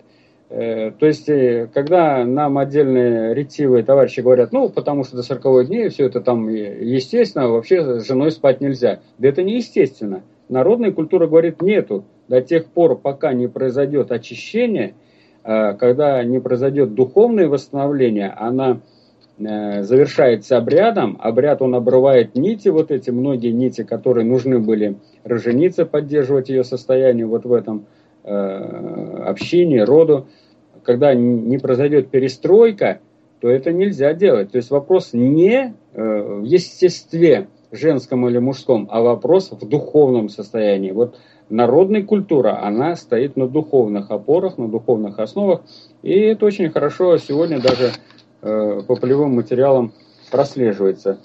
Ну и здесь можно еще затронуть такой вопрос, что, конечно, во многих местностях, э, вот баба, когда рожала, беременная, роженица, то она после родов одевала белые печальные одежды и ходила в белых печальных одеждах. Ну, до 40 дней, до года ходила в белых печальных одеждах, до года-то обязательно, а до 40 дней вообще, даже в некоторых местностях, там, где носили бабы Паневу, а Панева это, как говорится, вообще такая вещь обязательная – Э, скажем, как э, для часового автомат на посту или винтовка. Для бабы Панева это такое же вот средство. Но когда баба рожала, то до 40 дней она снимала Паневу и надевала на себя, можете удивиться, надевала на себя э, девичий сарафан, например. И ходила в девичьем сарафане. То есть это вот даже одеждой она показывала, что она вроде и баба, но она не баба, она роженица именно. То есть ее состояние вот такое, так скажем, э, первоначальное, очень девственное состояние. Но она, в действительности она переходная. Вот. Эту одежда, вообще одежда показывала все состояния э, в жизни, как говорится, женского начала, и бабы, роженица, молодухи, вековухи, всех-всех-всех-всех-всех, войнихи там и так далее. И здесь вот э, это очень э, четко прослеживается, когда народная культура показывает во внешнем внутреннее состояние. Вот. Ну вот, собственно говоря, можно перейти и вопросам. К вопросам от наших любимых радиослушателей. Да, если Время. Если, если, если, здесь много если, здесь вопросов много. Есть, есть время у нас. Вопросов, вопросов есть много, и времени хватает. Ну что ж, вопрос в эфир от Владимира из Мытищ. Павел Иванович, э, начну издалека, чтобы никого не обидеть. У беременных женщин состояние психики некоторым образом отличается от исходного состояния. Не будет ли беременной женщине несколько тяжеловато воспринимать информацию, излагаемую вами? А то подумает, например, что душа неправильно формируется, будет психовать и волноваться. Э, медицинские противопоказания к прослушиванию этой программы беременным женщинам есть? Вы знаете, вопрос э, имеет место быть, вопрос хороший, спасибо за него. Э, народная культура, она открыта для всех. И вот я вам э, отвечу, наверное, в переносном смысле. Во-первых, так скажем, страшного я ничего не говорю, так скажем, а то, что есть в научной литературе, вы можете взять э, какие-то сборники по повитухам, по родинам, и все это дело прочитать. Или энциклопедию, допустим, сейчас вышел четырехтомник или пятитомник «Славянские древности» Института славяноведения. Там многие вещи, то, что я вот говорил, не все, конечно, но многие вещи описаны в более жестком виде, достаточно более жестком виде. Я старался говорить мягко. Поэтому Э, так скажем, э, здесь не вижу никаких запретов. А, а с позиции народной культуры, вы знаете, в народной культуре там э, вот все открыто и в то же время все очень строго распределено. Поэтому человек должен знать, должен знать, что влечет, так скажем, за, за его неправильным поведением, как он будет рассчитываться. Если он пойдет крестить, или он именно нарекать пойдет, или он пойдет на свадьбу беременная, то, дорогая моя, знай, что э, твой младенец может умереть у тебя в утробе выкидыша быть, или ты сама умрешь при родах. Но об этом надо знать просто-напросто. И этого пугаться не надо. Такая жизнь. Хорошо. Дмитрий из Донбасса. К соведущему вопрос. В основном, где исследования проводил? В Смоленской губернии или в каких? Ну, мои полевые исследования я могу повторить, что не повторить, а так скажем, ну, повторить написанное, что исследования у меня проводились и э, с Донбасса товарищу говорю, что проводились в том числе в Сумской области, в Харьковской области, в Смоленской области, Вологодской области, Пензенская, Тамбовская, Рязанская, Воронежская, э, Белгородская области, ну и другие края. Но это мои личные исследования, да, я их э, уже несколько десятилетий веду, но их достаточно мало, так скажем, чтобы делать открытие закона русского духа. Закон русского духа открыт на основе э, той богатой э, научной литературы, тех э, знаний, которые выкладывались э, наукой э, со второй половины XIX столетия. И в частности, одним из первых о законе русского духа, ну, о закономерностях э, свадебных обрядов, э, как говорится, единстве свадебных и похоронных обрядов, это говорил граф Сумцов, профессор Харьковского университета, университета кстати говоря, э, ярый сторонник, так скажем, украинизации и так далее, сейчас его называют, но это уже частности вопросы. Вот, это большой ученый, большой ученый, славист, он об этих вещах говорил, поэтому Э, сводить, э, так скажем, э, что написал только один Кутенков там, или Иванов или Петров, это было бы неправильно. Законы, они, они законы существуют независимо от нашего с вами понимания, осознания, восприятия их или невосприятия. Закон всемирного тяготения, он существует, хотим мы его признавать или нет. Таблица Менделеева, ну, она существует есть знали мы об, этой, об этом или не знали, она существовала и продолжает существовать. И многие законы, я вам скажу, как, допустим, по первой специальности, инженер-механик по летательным аппаратам, я могу сказать, вот существует э, три закона гироскопии. Ну, знаем об этом, не знаем об этом. Кто ракетчики, они знают об этом. Или кто там э, инженеры, так скажем, по связанные, так скажем, э, с определенными направлениями развития науки и техники, они знают, а другие не знают. Ну и что из этого? так скажем, ну и, и бог с этими законами.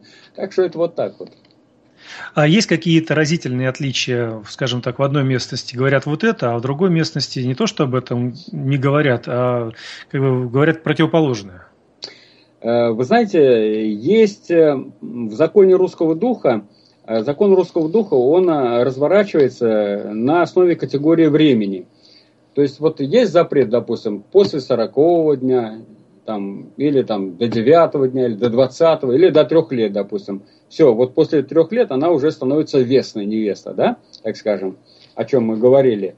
Э, и вот, э, вот это разворачивание времени, она в каждой крестьянской родовой культуре, в каждой уездной культуре, в родоплеменной культуре, если мы будем шире-шире, выше подниматься, у белорусов, малорусов, великорусов, русинов, она может иметь свои Э, некоторые отличия. Ну, допустим, в Смоленской области, э, там э, вот в законе русского духа, допустим, в иносветной печали четко прописывается, допустим, шестой день, девятый день, двенадцатый день. А в других местностях двенадцатого дня нету.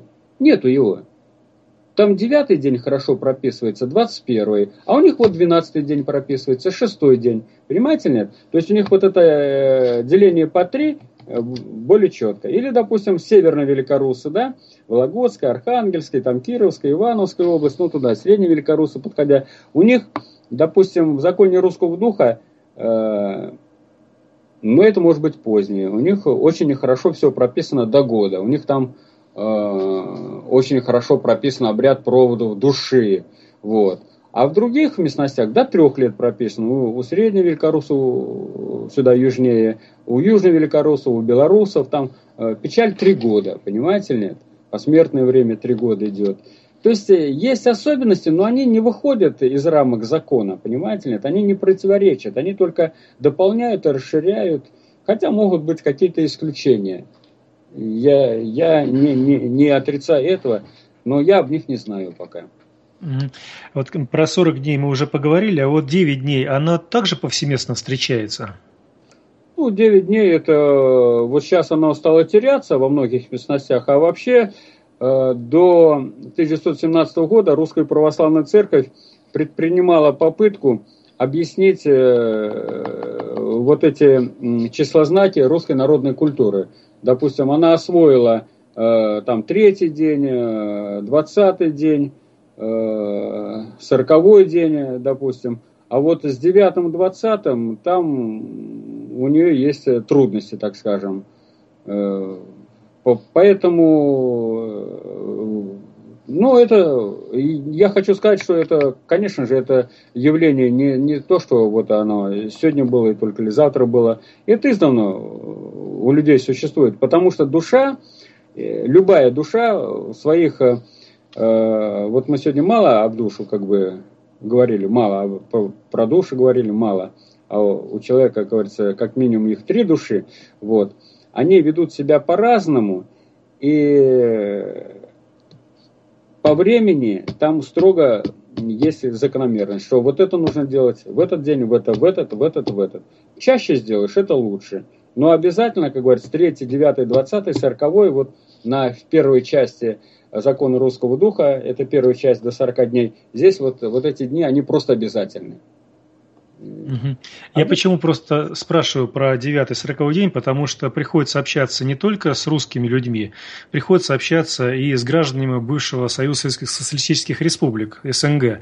И вот у них э, у большинства у них присутствует именно 9 40 Все остальные дни также размазаны, у кого-то там третий еще, у кого-то седьмой, кого но 9 40 тоже присутствует.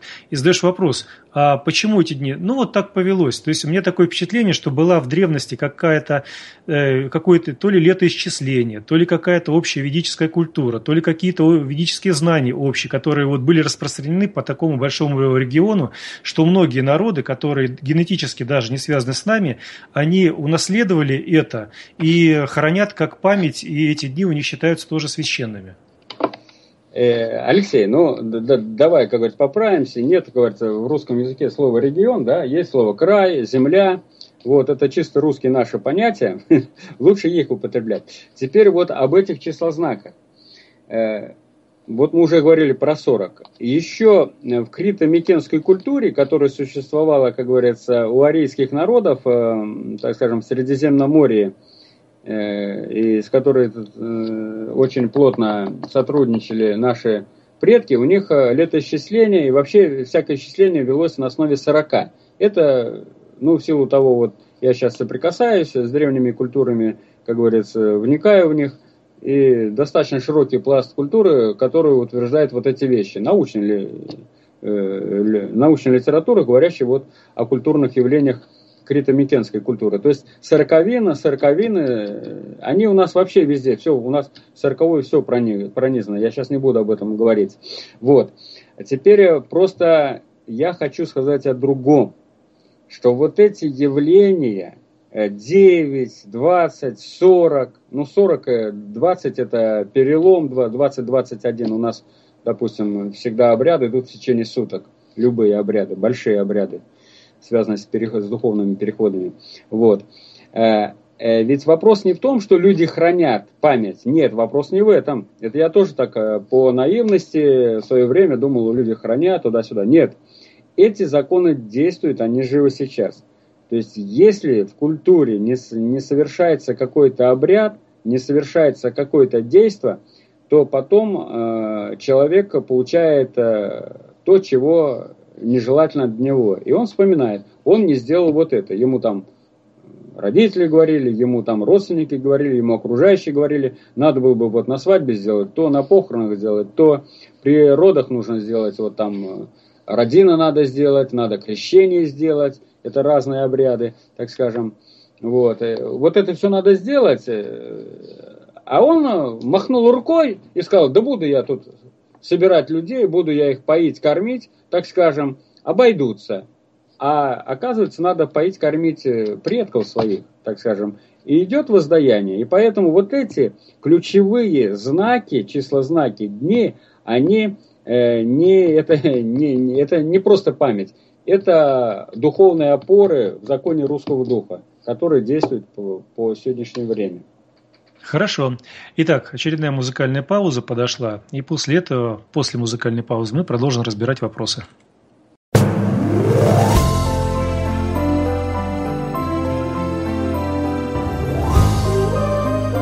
эфире Народное славянское радио. Ответы на вопросы.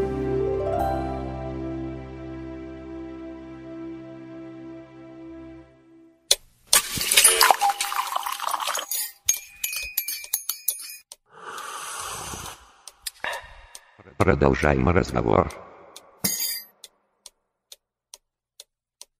Продолжаем разговор на Народном славянском радио. Напомню, что сегодня у нас живой эфир, который проходит в день 26 февраля 2016 года, в пятницу по одному современных календарей или по одному старинному календарю, 26 день месяца Вьюг и стужи, 7524 лета, вторник.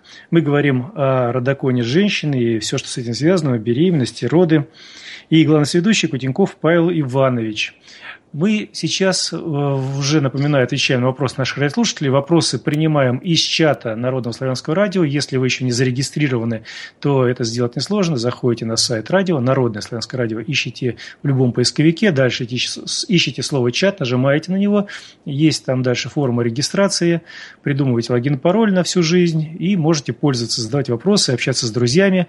Главное, чтобы потом не забыть. Это логин и пароль.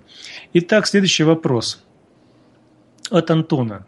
Здравия. А что насчет э, того, что заранее выбирание родителей и так далее? То есть душа выбирает родителей и так далее.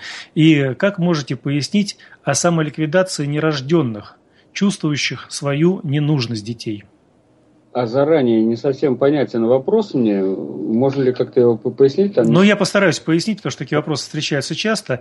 Просто есть одно такое представление, что душа выбирает своих родителей, она не просто так вот появляется, а бы какая, в первую очередь.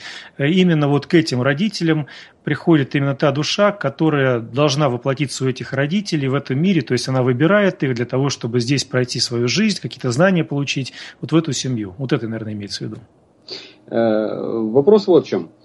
Э, в русской народной культуре это возможно, такое возможно, такое существует в буддизме, где существуют определенные правила, определенные знания по этому поводу, и там предписывается э, душе вести как после смерти и как при зачатии, так скажем, предписывается душе. У нас осуществлен другой подход. Роженица роженица, так скажем, или я не хочу сказать, что другой подход, что у нас э, в народной культуре существуют знания, которые, может быть, на сегодняшний день оно не полное, возможно. Но у нас э, что такое крестьянская родовая культура? Крестьянская родовая культура, вот э, на основе которых сегодня ведутся основные научные разработки этого вопроса, оно подразумевает, что она создается тогда, крестьянская, казацкая родовая культура, боярская родовая культура, она создается тогда, когда род в состоянии душу удерживать в течение, так сказать, э, последующей своей жизни в своем роду. Вот э, разросся род какой-то большой род, и вдруг выделяется из него, так скажем, несколько селений, и говорят, что мы самостоятельны, они самостоятельность по, по многим вещам заявляют, но прежде всего они признаются окружающими тогда самостоятельными, когда они могут а, а, душу взять с мирового, так сказать, с родового древа, с родового древа, а, в этой жизни провести и отправить на это древо, а потом за ним сходить. Вот мы в начале передачи об этом и говорили, что повитуха с роженицей ходит за душами, которые находятся где-то там в запредельном пространстве и выбирают этих душ. Они сами выбирают. Вот у нас э, один из основных, главных подходов э, обращения с душой. И поэтому, видимо, и другие существуют э, способы. И вот для буддизма он описан вот этот вот, что душа там выбирает, она выбирает э, в своем, так скажем, пространстве, в своем роду, и там ей предписывается порядок. У нас больше известен вот такой подход. А, теперь вторая часть, о чем там была? Как можете пояснить самоликвидацию нерожденных, чувствующих свою ненужность? Нерожденных, да? Да, но вот бывает такое, не рожден, чувствует ненужность и решил, все, сам устранюсь, я здесь не нужен. Вот и, не стал, и не стал рождаться. Мы давайте к этому вопросу подойдем несколько с другой стороны, которая очень широко известна в русской народной культуре. Э, когда рождается младенец и по каким-то, так скажем, э, условиям его жизни здесь становится невозможной, то он умирает. И вот этот младенец вообще э, в народной культуре очень интересно знание, что этот младенец – если это произошло там, ну, до 40 дней, в частности, бывает, что до года считают, то э, после этого эта же душа может э, воплотиться в этом роду, у этих родителей.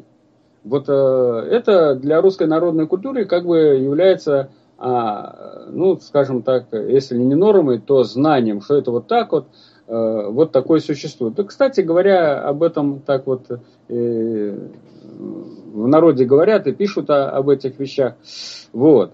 Поэтому э, вот такое существует, э, она возвращается обратно сюда, то есть род ее приглашает. Условия раз, разные могут быть, что ну, душа, как говорится, пришла в этот мир, как-то проявилась, а тело для него не создано, так скажем. Вот, такие вещи тоже могут быть, но как в этом отношении ведет э, себя, так скажем, как себя вести, как в народной культуре об этом знания, на сегодняшний день исследований по этому вопросу мы не имеем. Хотя я не исключаю, что э, такие вещи совершаются. А вообще, когда на Руси происходили какие-то такие потери ребенка, то я сейчас применю греческое слово трагедии, это считалось или подходили более философски, ведически, ну так должно было случиться, давайте не будем переживать? Значит, вообще смерть никогда трагедией не считалась. Так скажем, вот э, если э, про младенцев, так скажем, что я пояснил по этому вопросу, ну, Бог дал, Бог взял, так скажем, это все понятно. Вообще по младенцам и помимо, когда до трехлетнего э, возраста в ряде местностей просто не проводили, похоронили и все, так скажем. Вот. Только уже после трех лет там или даже после семи могли по ним справлять достаточно пышные, э, так, ну, скажем, весь обряд, тот, который положен по умершему. Видите ли, у нас э, много на наше сознание сейчас засорено вот этими, как говорится, словечками иностранными, и мы теряем смыслы. Вот у нас есть, э, нам в наш э, словарный словник наш бросили слово Э, траур. И везде нас э, пичкают им этим словом, так скажем. Ну, нехорошо сказала, но тем не менее так, как говорится, давят, давят, давят. А что значит траур? Не траур, у нас печаль. И у нас существует много видов печали. То есть вот человек умер, по нему и насветная печаль э, осуществляется. Печаль это не траур, это не, это не горе. Она как бы с горем немножко смыкается, но это не горе. Вот корова умерла, э, сдохла, да, э, скажем, она не умирает, а, а подыхает. Вот корова подохла э, у хозяина, вот это горе. и для хозяина, и для хозяйки, и для всей семьи, потому что кормилица умерла. Вот. Это горе, это траур.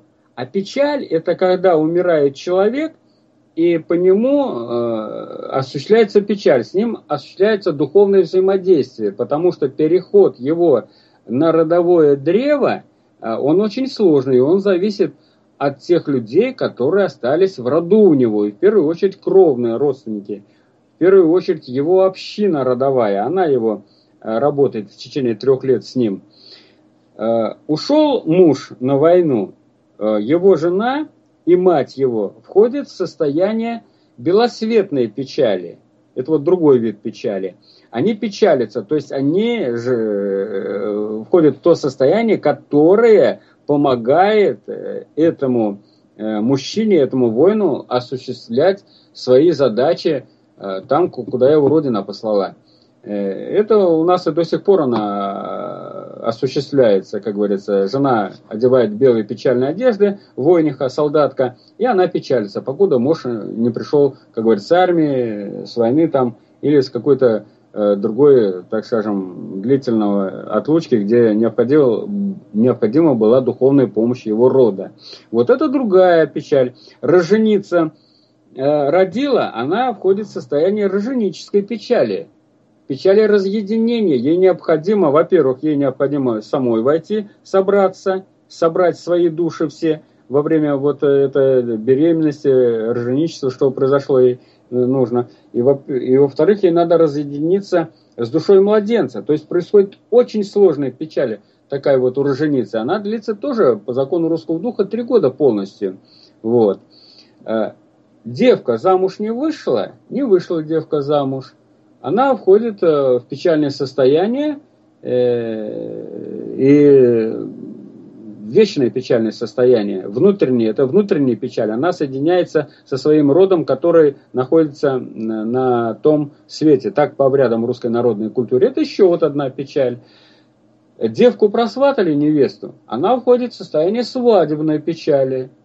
Это свой вид печали, который, внутренний вид печали, который позволяет девке подготовиться к переходу, к выходу из своего рода э, и родиться в другом роду. Это еще один вид печали. То есть у нас очень много видов печали, и когда нам это заменяют какими-то словами иностранными, вот как сейчас сказали, трагедия, э, я вот к этому веду, то мы тогда начинаем, ну что такое трагедия? Смерть это переход в иной мир, и здесь так скажем, э, это просто вот случилось, это такова судьба, это такова жизнь у человека, и здесь нужно действовать дальше так, чтобы эта душа перешла в разряд родителей, чтобы она через определенное время э, ее можно было за ней сходить и вернуть в этот мир. Вот вопрос в чем. Или, так скажем, ее э, отправить на древо рода, где она будет находиться в роду и осуществлять, как говорится, продолжать э, то, то взаимодействие с живущими на Земле, которое необходимо э, осуществлять. Вот. Понятно. А что такое трагедия? Да, перевод дословно из греческого означает «песня козлов». Ну вот, вот, вот, вот о чем мы говорим. Не материтесь, понимаете ли? Вот песни Козлов вы поете. Ну как это так вот? Понимаете? То есть, как может быть песни Козлов, как говорится, человек умер? Да нету, конечно же. Нет, это просто дословный перевод для наших радиослушателей, чтобы понимали, что, нас, что нам пичкают, да, вот трагедия, вот, да, ох, трагедия. Да, я хочу сказать, что вот когда нам вот эти слова, и мы не знаем дословного перевода, и потом нам дают так, так называемое научное содержание этого слова, да, так скажем, вот песни Козлова отдают э, совершенно другое содержание. Понимаете, нет? Э, и мы, как говорится, не понимая этого, начинаем вот этим словечком, как говорится, налево-направо разбрасываться. То есть вообще пользование языком другого народа, а тем более народа, которого ушел в небытие, всякие латинизмы, они ведут к тому, что мы теряем свою духовную силу. Это раз, отдаем тому народу, Э, чьими словами пользуемся. пользуемся. А когда мы пользуемся словами э, латинян, э, так скажем, которые ушли в небытие, э, в темный мир ушли, да, они не смогли э, жить на этом свете, то протягивается нить очень мощная из э, темных миров, и мы туда засасываемся. Поэтому вот э, это можно проследить. Как говорится, 17-й год, когда был мощный такой сильный вброс э, вот этих латинизмов, сильнейший, когда э, мы пережили страшное время, потом пережили, вот 90-й год опять у нас был перелом, и опять пошел вал вот это не, не вот замусор, замусор, замусоривание русского языка пошло. Вот. Это втягивание нас э, на колею смерти. Я называю это родозгоние. То есть сегодня русский народ находится в состоянии родозгонии. 20 веком и более ранними действиями он поставлен, ну в особенности 20 веком, поставлен на колею смерти, то есть совершена родозгония, совершен подрыв русского духа, в том числе вот выбивание э, посредством русского языка, посредством изменения азбуки и другими действиями, э, так скажем, темные силы стараются убрать светлый русский народ, миродержащий, светодержащий на земле, хотят убрать э, с нашей земли нас. Это очевидные вещи. Угу. Вот когда ты говорил по поводу того, что народ уже не существует, и как бы вот мы следуем за этим народом, отдаем туда. Это хорошо, когда еще мы можем нащупать эти ниточки, куда отдаем. А ведь э, есть такая версия, что латинский язык это вообще несколько выдуманный. И вот не было, не существовало, его специально придумали для того, чтобы в определенных кругах общаться. Так получается, если мы следуем выдуманному языку, что ж, получается, нас вообще что ли нет? Мы э, следуем тому, что никогда не было. Туда вопрос, куда мы идем-то? В небытие. Если это хоть понятно, куда ушли. Э, с катертью дорожка, то, что называется. А тут вообще никуда. Так что давайте думать, что мы произносим. Так, ладно, следующий вопрос. Вначале говорилось, что беременная женщина двоедушная, то есть в ее теле совмещены души ее и ребенка. А потом говорится, что душа дается ребенку на 20 неделе или во время родов. Так э, можно уточнить, в какой же момент, по мнению соведущего, ребенок обретает душу? Э, спасибо.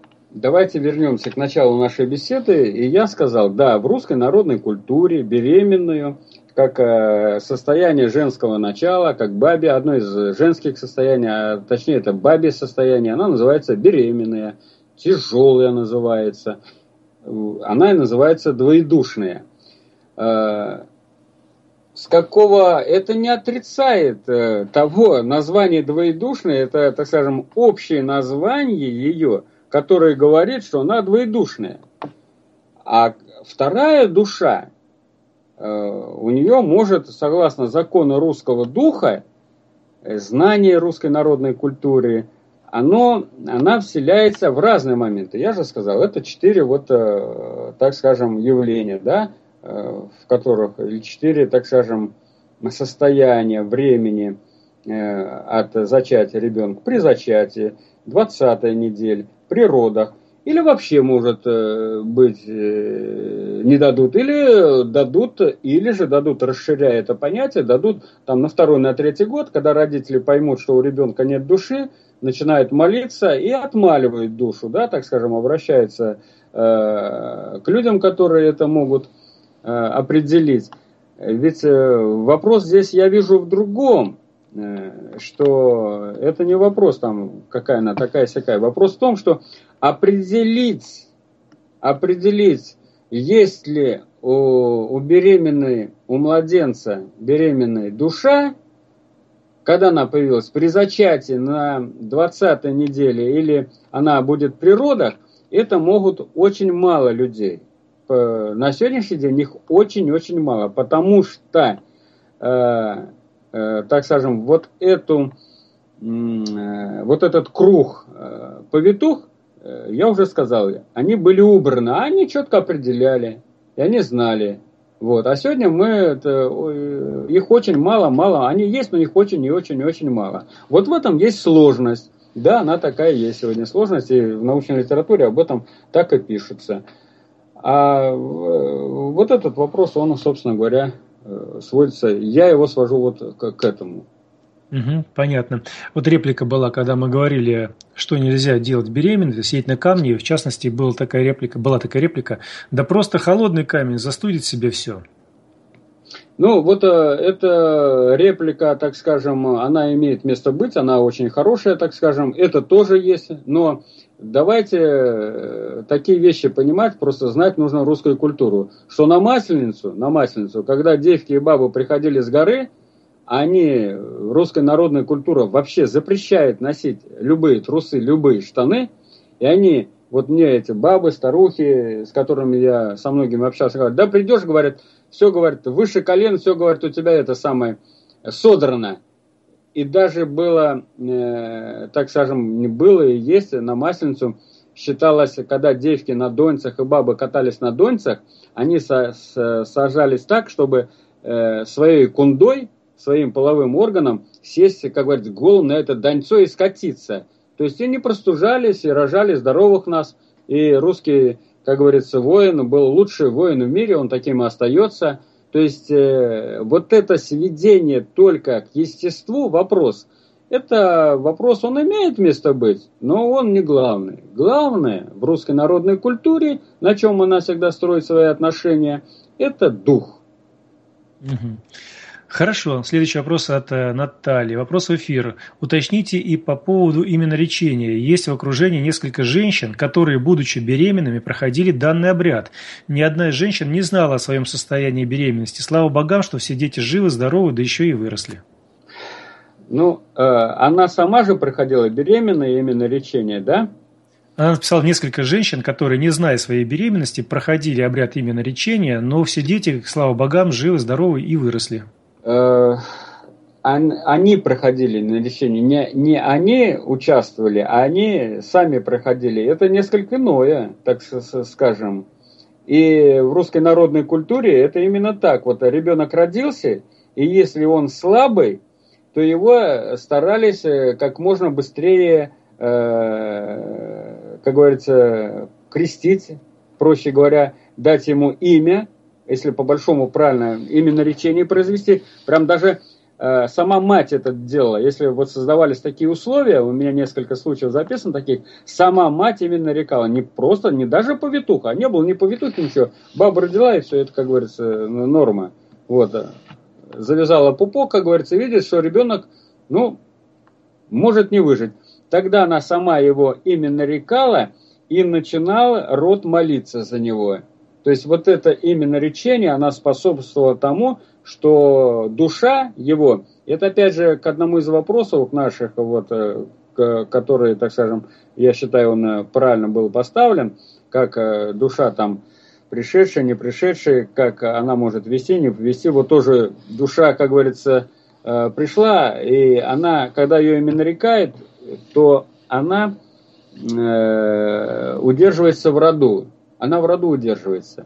Она даже, младенец даже умрет, его, как говорится, жизнь не позволит. Но эта душа закрепляется на той ветви мирового древа, которая вот э, соответствует в этом. То есть уже вот это явление, которое существует в русской народной культуре, она косвенно подтверждает, что вопрос, заданный слушателем совершенно ранее, который был задан, он совершенно прав, он имеет место быть. Но, я говорю, у нас исследование, исследование по этому вопросу пока не проведено. Ни университетская наука, ни академическая наука пока не озаботилась этим вопросом. Хорошо, следующий вопрос в эфир от Антона. А как насчет воплощения родичей через потомков? Благодарю. Не, ну, мы же затрагивали этот вопрос. Да, но он написан, я просто обязан его прочитать. Это, да, да, да, хорошо. Не, это, это нормальное явление, что русская народная культура, она стоит на этом, что э, души берут не просто, так скажем, э, абы откуда-то. Да, они могут прийти, как говорится, более с высоких уровней или более с низких уровней, или, как говорится, с другой, с другой ветки. Все это допустимо, все это возможно. Но но русская, крестьянская родовая культура, боярская родовая культура, э, вспомним песню известную «Все могут короли, только не могут жениться по любви». В русской народной культуре тоже же определяли только родители. И душу приглашали только, брали ее, э, приводили ее только со своего родового древа, со своей ветки этого древа, если род большой. Поэтому есть... это вопрос совершенно верный. Получается, призывали добродетельное потомство из своих, из своих родичей, из своего Совер... рода. Можно, можно так сказать, да, это одно и то же. Угу. Дальше следующий вопрос от Григория Врачева. Э, цитата. «По триди са злата майка, ой, клади наш коле де, прийти са замочиса, дородиса млада бога». Вопрос. Замочиса имеется в виду рода ребенка в воде или потужится? Ну, можно, я не знаю, откуда текст это взять, да, так скажем, откуда он взять, но освещение водой, так скажем, освещение водой это э, обязательный обряд э, в имя наречения. Почему? Потому что во время рода, во время рода не исключено, что э, несмотря на то, что и это в бане, как говорится, баба рожала, она мало рожать, рожать в других местах, где определенные все же нечистики, мелкие сущности могли как бы присоединяться к телу младенца, роженицы. И поэтому обязательно было, э, когда, так скажем, в научной литературе говорят, шло его вхождение в культуру, оккультуривание, то она начиналась с того, что его погружали в непитую воду. Непитая вода – это святая вода. Э, святая вода, она у нас каждый день появляется в природе. Это после прохождения э, солнцем ночного зенита и до его восхода. Вот это время вода в родниках, в колодцах становится э, непитой, так называемой, ну, в народной культуре, да, святой иногда говорят ее. Вот. Ну, в определенные времена года она получает больше силы, а вот каждый день она имеет такую силу с этого по этому времени. И вот в этой воде которую не трогали ни телом, ни словом, ни каким-то другим звуком, эм, младенца погружали, очищали, поэтому могло вот в этом тексте, возможно, и это имелось. Хорошо. Следующий вопрос от Павла нет, здесь не подписался. Павел Иванович, э, здравствуйте. Есть ли в книге «Закон русского духа» об обрядах и срядах восточных славян та информация, которую вы сегодня вещаете? Может, возможно, вы уже об этом говорили, простите, не услышала. Я излагаю сегодня э, э, знания те, которые Э, изложено в книге «Закон русского духа», одноименное название, как говорится, книги самого закона, да, вот, оно там есть, э, оно там, э, если вы будете всю книгу читать, то, что я говорю, там есть. Но некоторые вещи я даю более в расширенном, так скажем, толковании, выходящем за рамки существующих сегодня обоснований в науке – но они в народной культуре существуют. Просто вот э, вопрос там э, с переселением душ, вопрос, как говорится, с душами, которые э, пришли и не нашли, так скажем, своего места. Ну, есть много очень... Вообще духовная область, духовно-душевная, она с позиции существования трех душ у человека, она практически у нас не рассмотрена. Вот есть только общие какие-то отрывочные сведения, они не обобщены. Поэтому в законе русского духа они обобщены, так скажем, э, приведены в определенную, э, так скажем, линейку знаний, дающие, скрывающие закономерности русского духа. Э, и, в общем-то, э, все, что я говорил, оттуда можно вывести тем или иным образом. Угу. У нас осталось четыре вопроса, поэтому музыкальную паузу я не ставлю, а вот пройдемся без музыкальной паузы. Аркуинон уточняет, видимо, не с самого начала слышал. Я так и не понял, кого от кого защищали? Если же роженица нечистая и ее от нечистой силы защищали, это как? Ну, мы про это уже много говорили, да? Ну, тогда давайте слушатели этому еще раз повторим.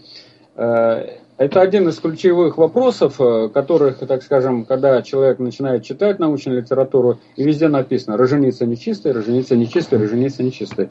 Э, вопрос нечистотности состоит в том, что душа роженицы вследствие событий родов, вследствие выхода ее души за младенцем, вследствие разъединения двух душ – которые находились в утробе матери, могли находиться определенное время, э, все это ослабевало душу роженицы.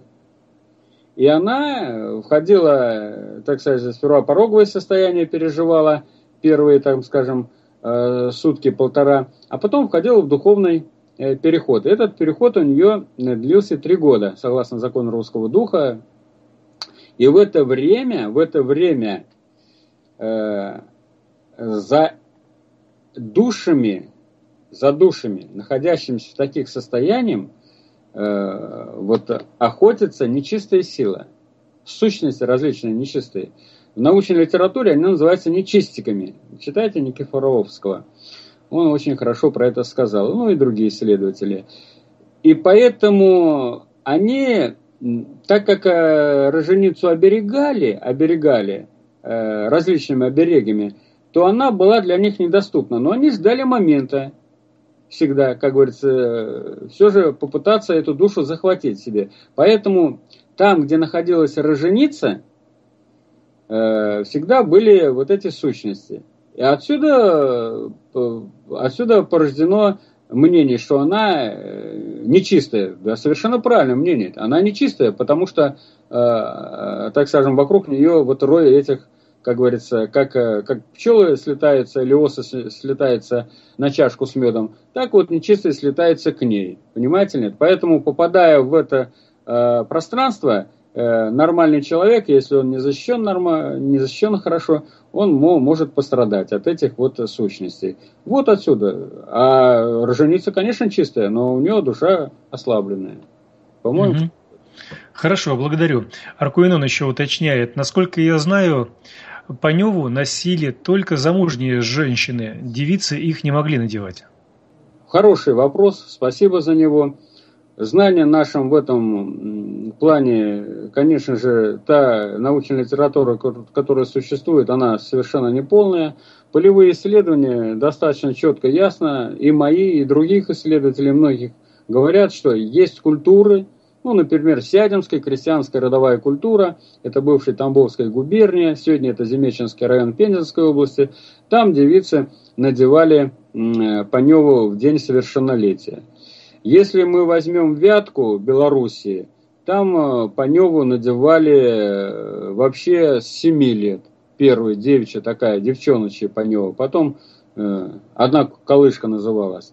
Если мы возьмем районы Великописаревский район Сумской области, там живут э, великороссы, э, там по Неву девочка надевала э, сперва э, с одного полотна, подрастала, э, невеста становилась, э, ну, более-менее подрастала, девочка несовершенная носила два полотна, невеста три полотна по Неву надевала, а уже бабой э, надевала э, с прошлой по Неву. А поэтому у нас э, сведения, нужно читать просто больше сейчас литературы, ее достаточно очень много пошло по одежде, ну, относительно советского времени, конечно, вот. И там очень большой э, вот, э, круг понимания этого вопроса, он расширяется. Поэтому я об этом и говорю. Угу. Хорошо. Вопрос эфир от Эдуарда. Существует гипотеза, что по мере роста плода у женщины, когда он меняется от земноводного к млекопитающему, происходит селение соответствующей души. К примеру, земноводного, затем эта душа меняется на другую по мере развития и в итоге меняется на человеческую душу. Были ли у вас подтверждения данной точки зрения? Коротко. Нет. Отлично. След...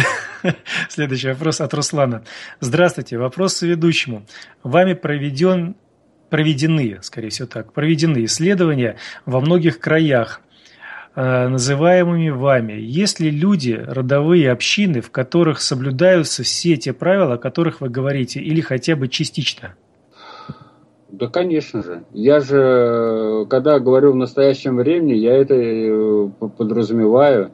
Вообще, я даже сам удивился, в свое время удивлялся, что многие законы русского духа, они выполняются не только в сельских родовых крестьянских, так скажем, культурах, но и про районы, как говорят, городишки и поселки молчу, они даже во многих областных городах, так скажем, э, эти законы выполняются и им строго следуют. Я приведу вам пример такой, который может удивить, удивить, как говорится, и даже видавших виды виды полевиков, э, так скажем, народоведов, э, культуроведов, э, этнографов и прочих антропологов. Вот. Село, допустим, Подсереднее, Глуховка, Иловка, это Старооскольский, это Алексеевский район Белгородской области, пограничье Белгорода и Воронежа. Вот. Там э, до 2003 года э, было обязательным, до 2003 года было обязательным на свадьбе э, невесту повивать в паневу и двуровую кичку. А сегодня это а сегодня начали отходить от этого чуть-чуть. Как бы не стало обязательным, но большинство это так и делает. Это сегодня. И все остальные вопросы, так скажем, и свадебного, и в отношении роженицы, и похорон, поминок, беременной. Это просто, так скажем, обязательно. Вот. В этом ничего удивительного нет. Все. Хорошо, и еще небольшое дополнение. Григорий тут нам прислал к своему вопросу. Э, я так и не понял, рожали ли наши женщины на Руси, роженицы, непосредственно в воду или нет? Э, я вопрос этот вообще не затрагивал, э, рождение в воду. И э, его, так скажем, вот в нашей беседе не обсуждал. Поэтому вы совершенно остаетесь в неведении, так как он не затронут. Спасибо. Вот, да, видимо, потому он и задал вопрос, что да, не понял, да. услышал, видимо, думал, что пропустил. Затрагивали, это отдельная тема, и мы его сегодня трогать не будем. Хорошо, ну вот все вопросы были заданы, те, которые к теме относятся. Здесь еще несколько вопросов были, которые к теме непосредственно не относятся, поэтому я не стал их озвучивать. Э, у нас в заключении есть такая традиция когда мы говорим нашим радиослушателям от себя что-то хорошее, даем какие-то напутствия, связанные с нашей сегодняшней темой. Вот этому я предлагаю посвятить последнюю нашу часть. Э, спасибо. Но опять же, слово традиция не наше. У нас есть очень хорошее слово «искань» это э, корень кон, кон, то есть э, у славян есть коны, поконы, искони, исконы, то есть то, что дано народу э, Всевышним, Творцом, Вседержителем изначально. И вот мы их сохраняем. А традиция это то, что вот э, мы уже говорили, ведет нас в никуда. Э, ну, я бы хотел пожелать нашим слушателям, чтобы мы были очень внимательны к самим к себе, к своей к семье, к своим женам, к своим детям, к своему народу были очень внимательны, смотрели, что сегодня происходит, смотрели на окружающих, что они делают, кто их ведет, какая сила, светлая или темная сила ведет. Э, вот это очень важно. Очень важно э, нам понимать, что основой духовных опор является русский язык. И что сохранение русского языка, э, оно возможно только тогда, когда мы будем понимать, что он нам нужен, что это наш родной язык. И что чужой язык нам не опора. Это болото, чужой язык, понимаете нет? Вот, ну нельзя в болоте найти опору, да? она засосет просто-напросто. Поэтому сбережение языка – это понимание э, происходящего, это понимание, где ты находишься, кто ты есть, что ты не Иван, не помнящий росла, а что за тобой стоит многотысячелетняя история твоего народа, твоей культуры, что культуру нам нужно. Культура – это э, чисто славянское понимание, э, культ. И ура, культ – это Бог, то есть это возделывание – если э, широко толковать и правильно, то это возделывание духа человеческого, это взращивание э, души своей. То есть вот мы должны беречь свою культуру, что нам оставили наши предки.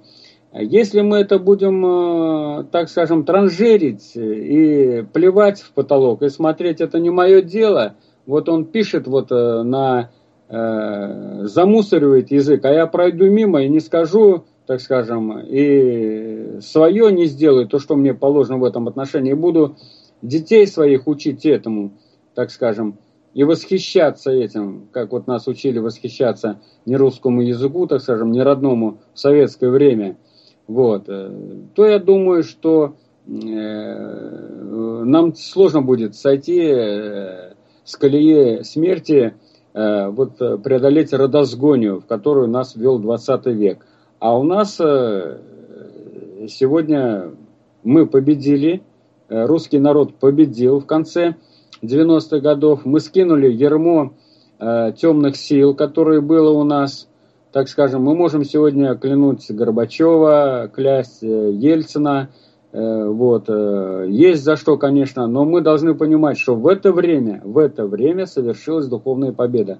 Нам открыты врата э, духовные, нам открыты врата получения благодати, нам открыто э, право э, молиться Богу, право уважать своих э, предков, свою культуру, э, но против этого идет остервенелая война сегодня. Это тоже мы должны понимать, что русский народ, как э, державно образующий народ, государство России, как народ, который держит свет на земле, это надо тоже понимать, вот, что как народ у нас великая судьба, и судьбы человечества связаны с русским народом. То есть вот мы тоже должны понимать, та ответственность не только родовая, но мировая, общекультурная лежит на русском народе. То есть мы должны ширить, э, мы должны мыслить широко, раздвинуть свои очи и оторвать их э, от э, земли, что у нас судьба небесная, и она находится, вот мы нас, как говорят, рода довели до нашего э, нынешнего времени, и это лежит на наших плечах. Поэтому мы должны осознавать и соответствующим образом э, вести себя. Хорошо. Благодарю за столь пламенную речь. Пламенно, да? Да. От себя... Я спокойно это сказал. Ну, можно говорить, находясь в совершенно спокойном теле, но при этом будоражить мысли слушателей. А от себя хочу сказать вот что. Ведь чисто там нигде убирают, а где не мусорят. Вот то же самое касается и наших всех э, полей, всех телес и э, наших вообще мыслеформ. Если кто-то плюет на мать и сам, и другим это позволяет делать, то и наша мать будет грязная. Я имею в виду про землю. То же самое, если мы плюем свое прошлое, да. то и наше прошлое будет грязное. Если мы коверкуем его, то и оно тоже будет исковерканное. А как с исковерканным жить? Вот сделайте просто такие выводы для себя и не поддавайтесь на какие-то провокации, э, внедрения, нововведения. Кто-то говорит, что язык постоянно меняется, его нужно реформировать, нужно изменять. Вот, э, да, вот и плюньте тому в глаза, кто это вам говорит. Наш язык – это самое дорогое, это то, что генетически свойственно нам. Если мы убираем часть своей генетики, мы убираем часть себя. А генетика – это род по-русски. Да, совершенно правильно. Вот это да, это наш род, да. Вот, поэтому вот просто это все понимаете. А по поводу традиции, мы знаем, что многие слова уходили сначала на Запад, а потом в искаженном формате, в искаженном варианте возвращались к нам. Так вот, как раз традиция – это древнее наше слово, которое было уже искажено много раз вернулось к нам, но мы забыли про свое. То род це я, то есть понятно, что да, вот род и я – это одно и то же. Вот это и есть э, то слово, которое к нам вернулось в виде слова «традиция». Но давайте мы слово «традиция» уберем и скажем «исконь», и вот когда я с родом, вот это вот я и есть. Потому что если мы с родом разлучаемся, то тогда мы и гибнем. Благодарю, огромная благодарность за столь интересный познавательный эфир. Э, благодарность всем нашим радиослушателям, кто участвовал в создании этого эфира, потому что ваши вопросы помогли нам э, что-то, может быть, где-то уточнить. Э, мы могли, когда общались, что-то упустить, а вот когда уже человек со стороны задает вопрос, это все-таки говорит о том, что вот на это стоит обратить внимание. Итак, напомню, что сегодня 26 февраля 2016 года, пятница, по одному из современных календарей, по одному из старинных 36 день месяца, в юг и стуж 7524 лета вторника, я опять же говорю, по одному из, то есть календарей у нас множество было.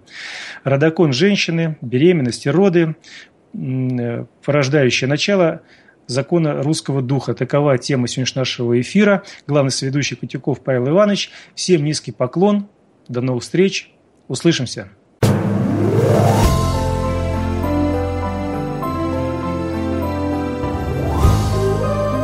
Народное славянское радио для пытливых умов.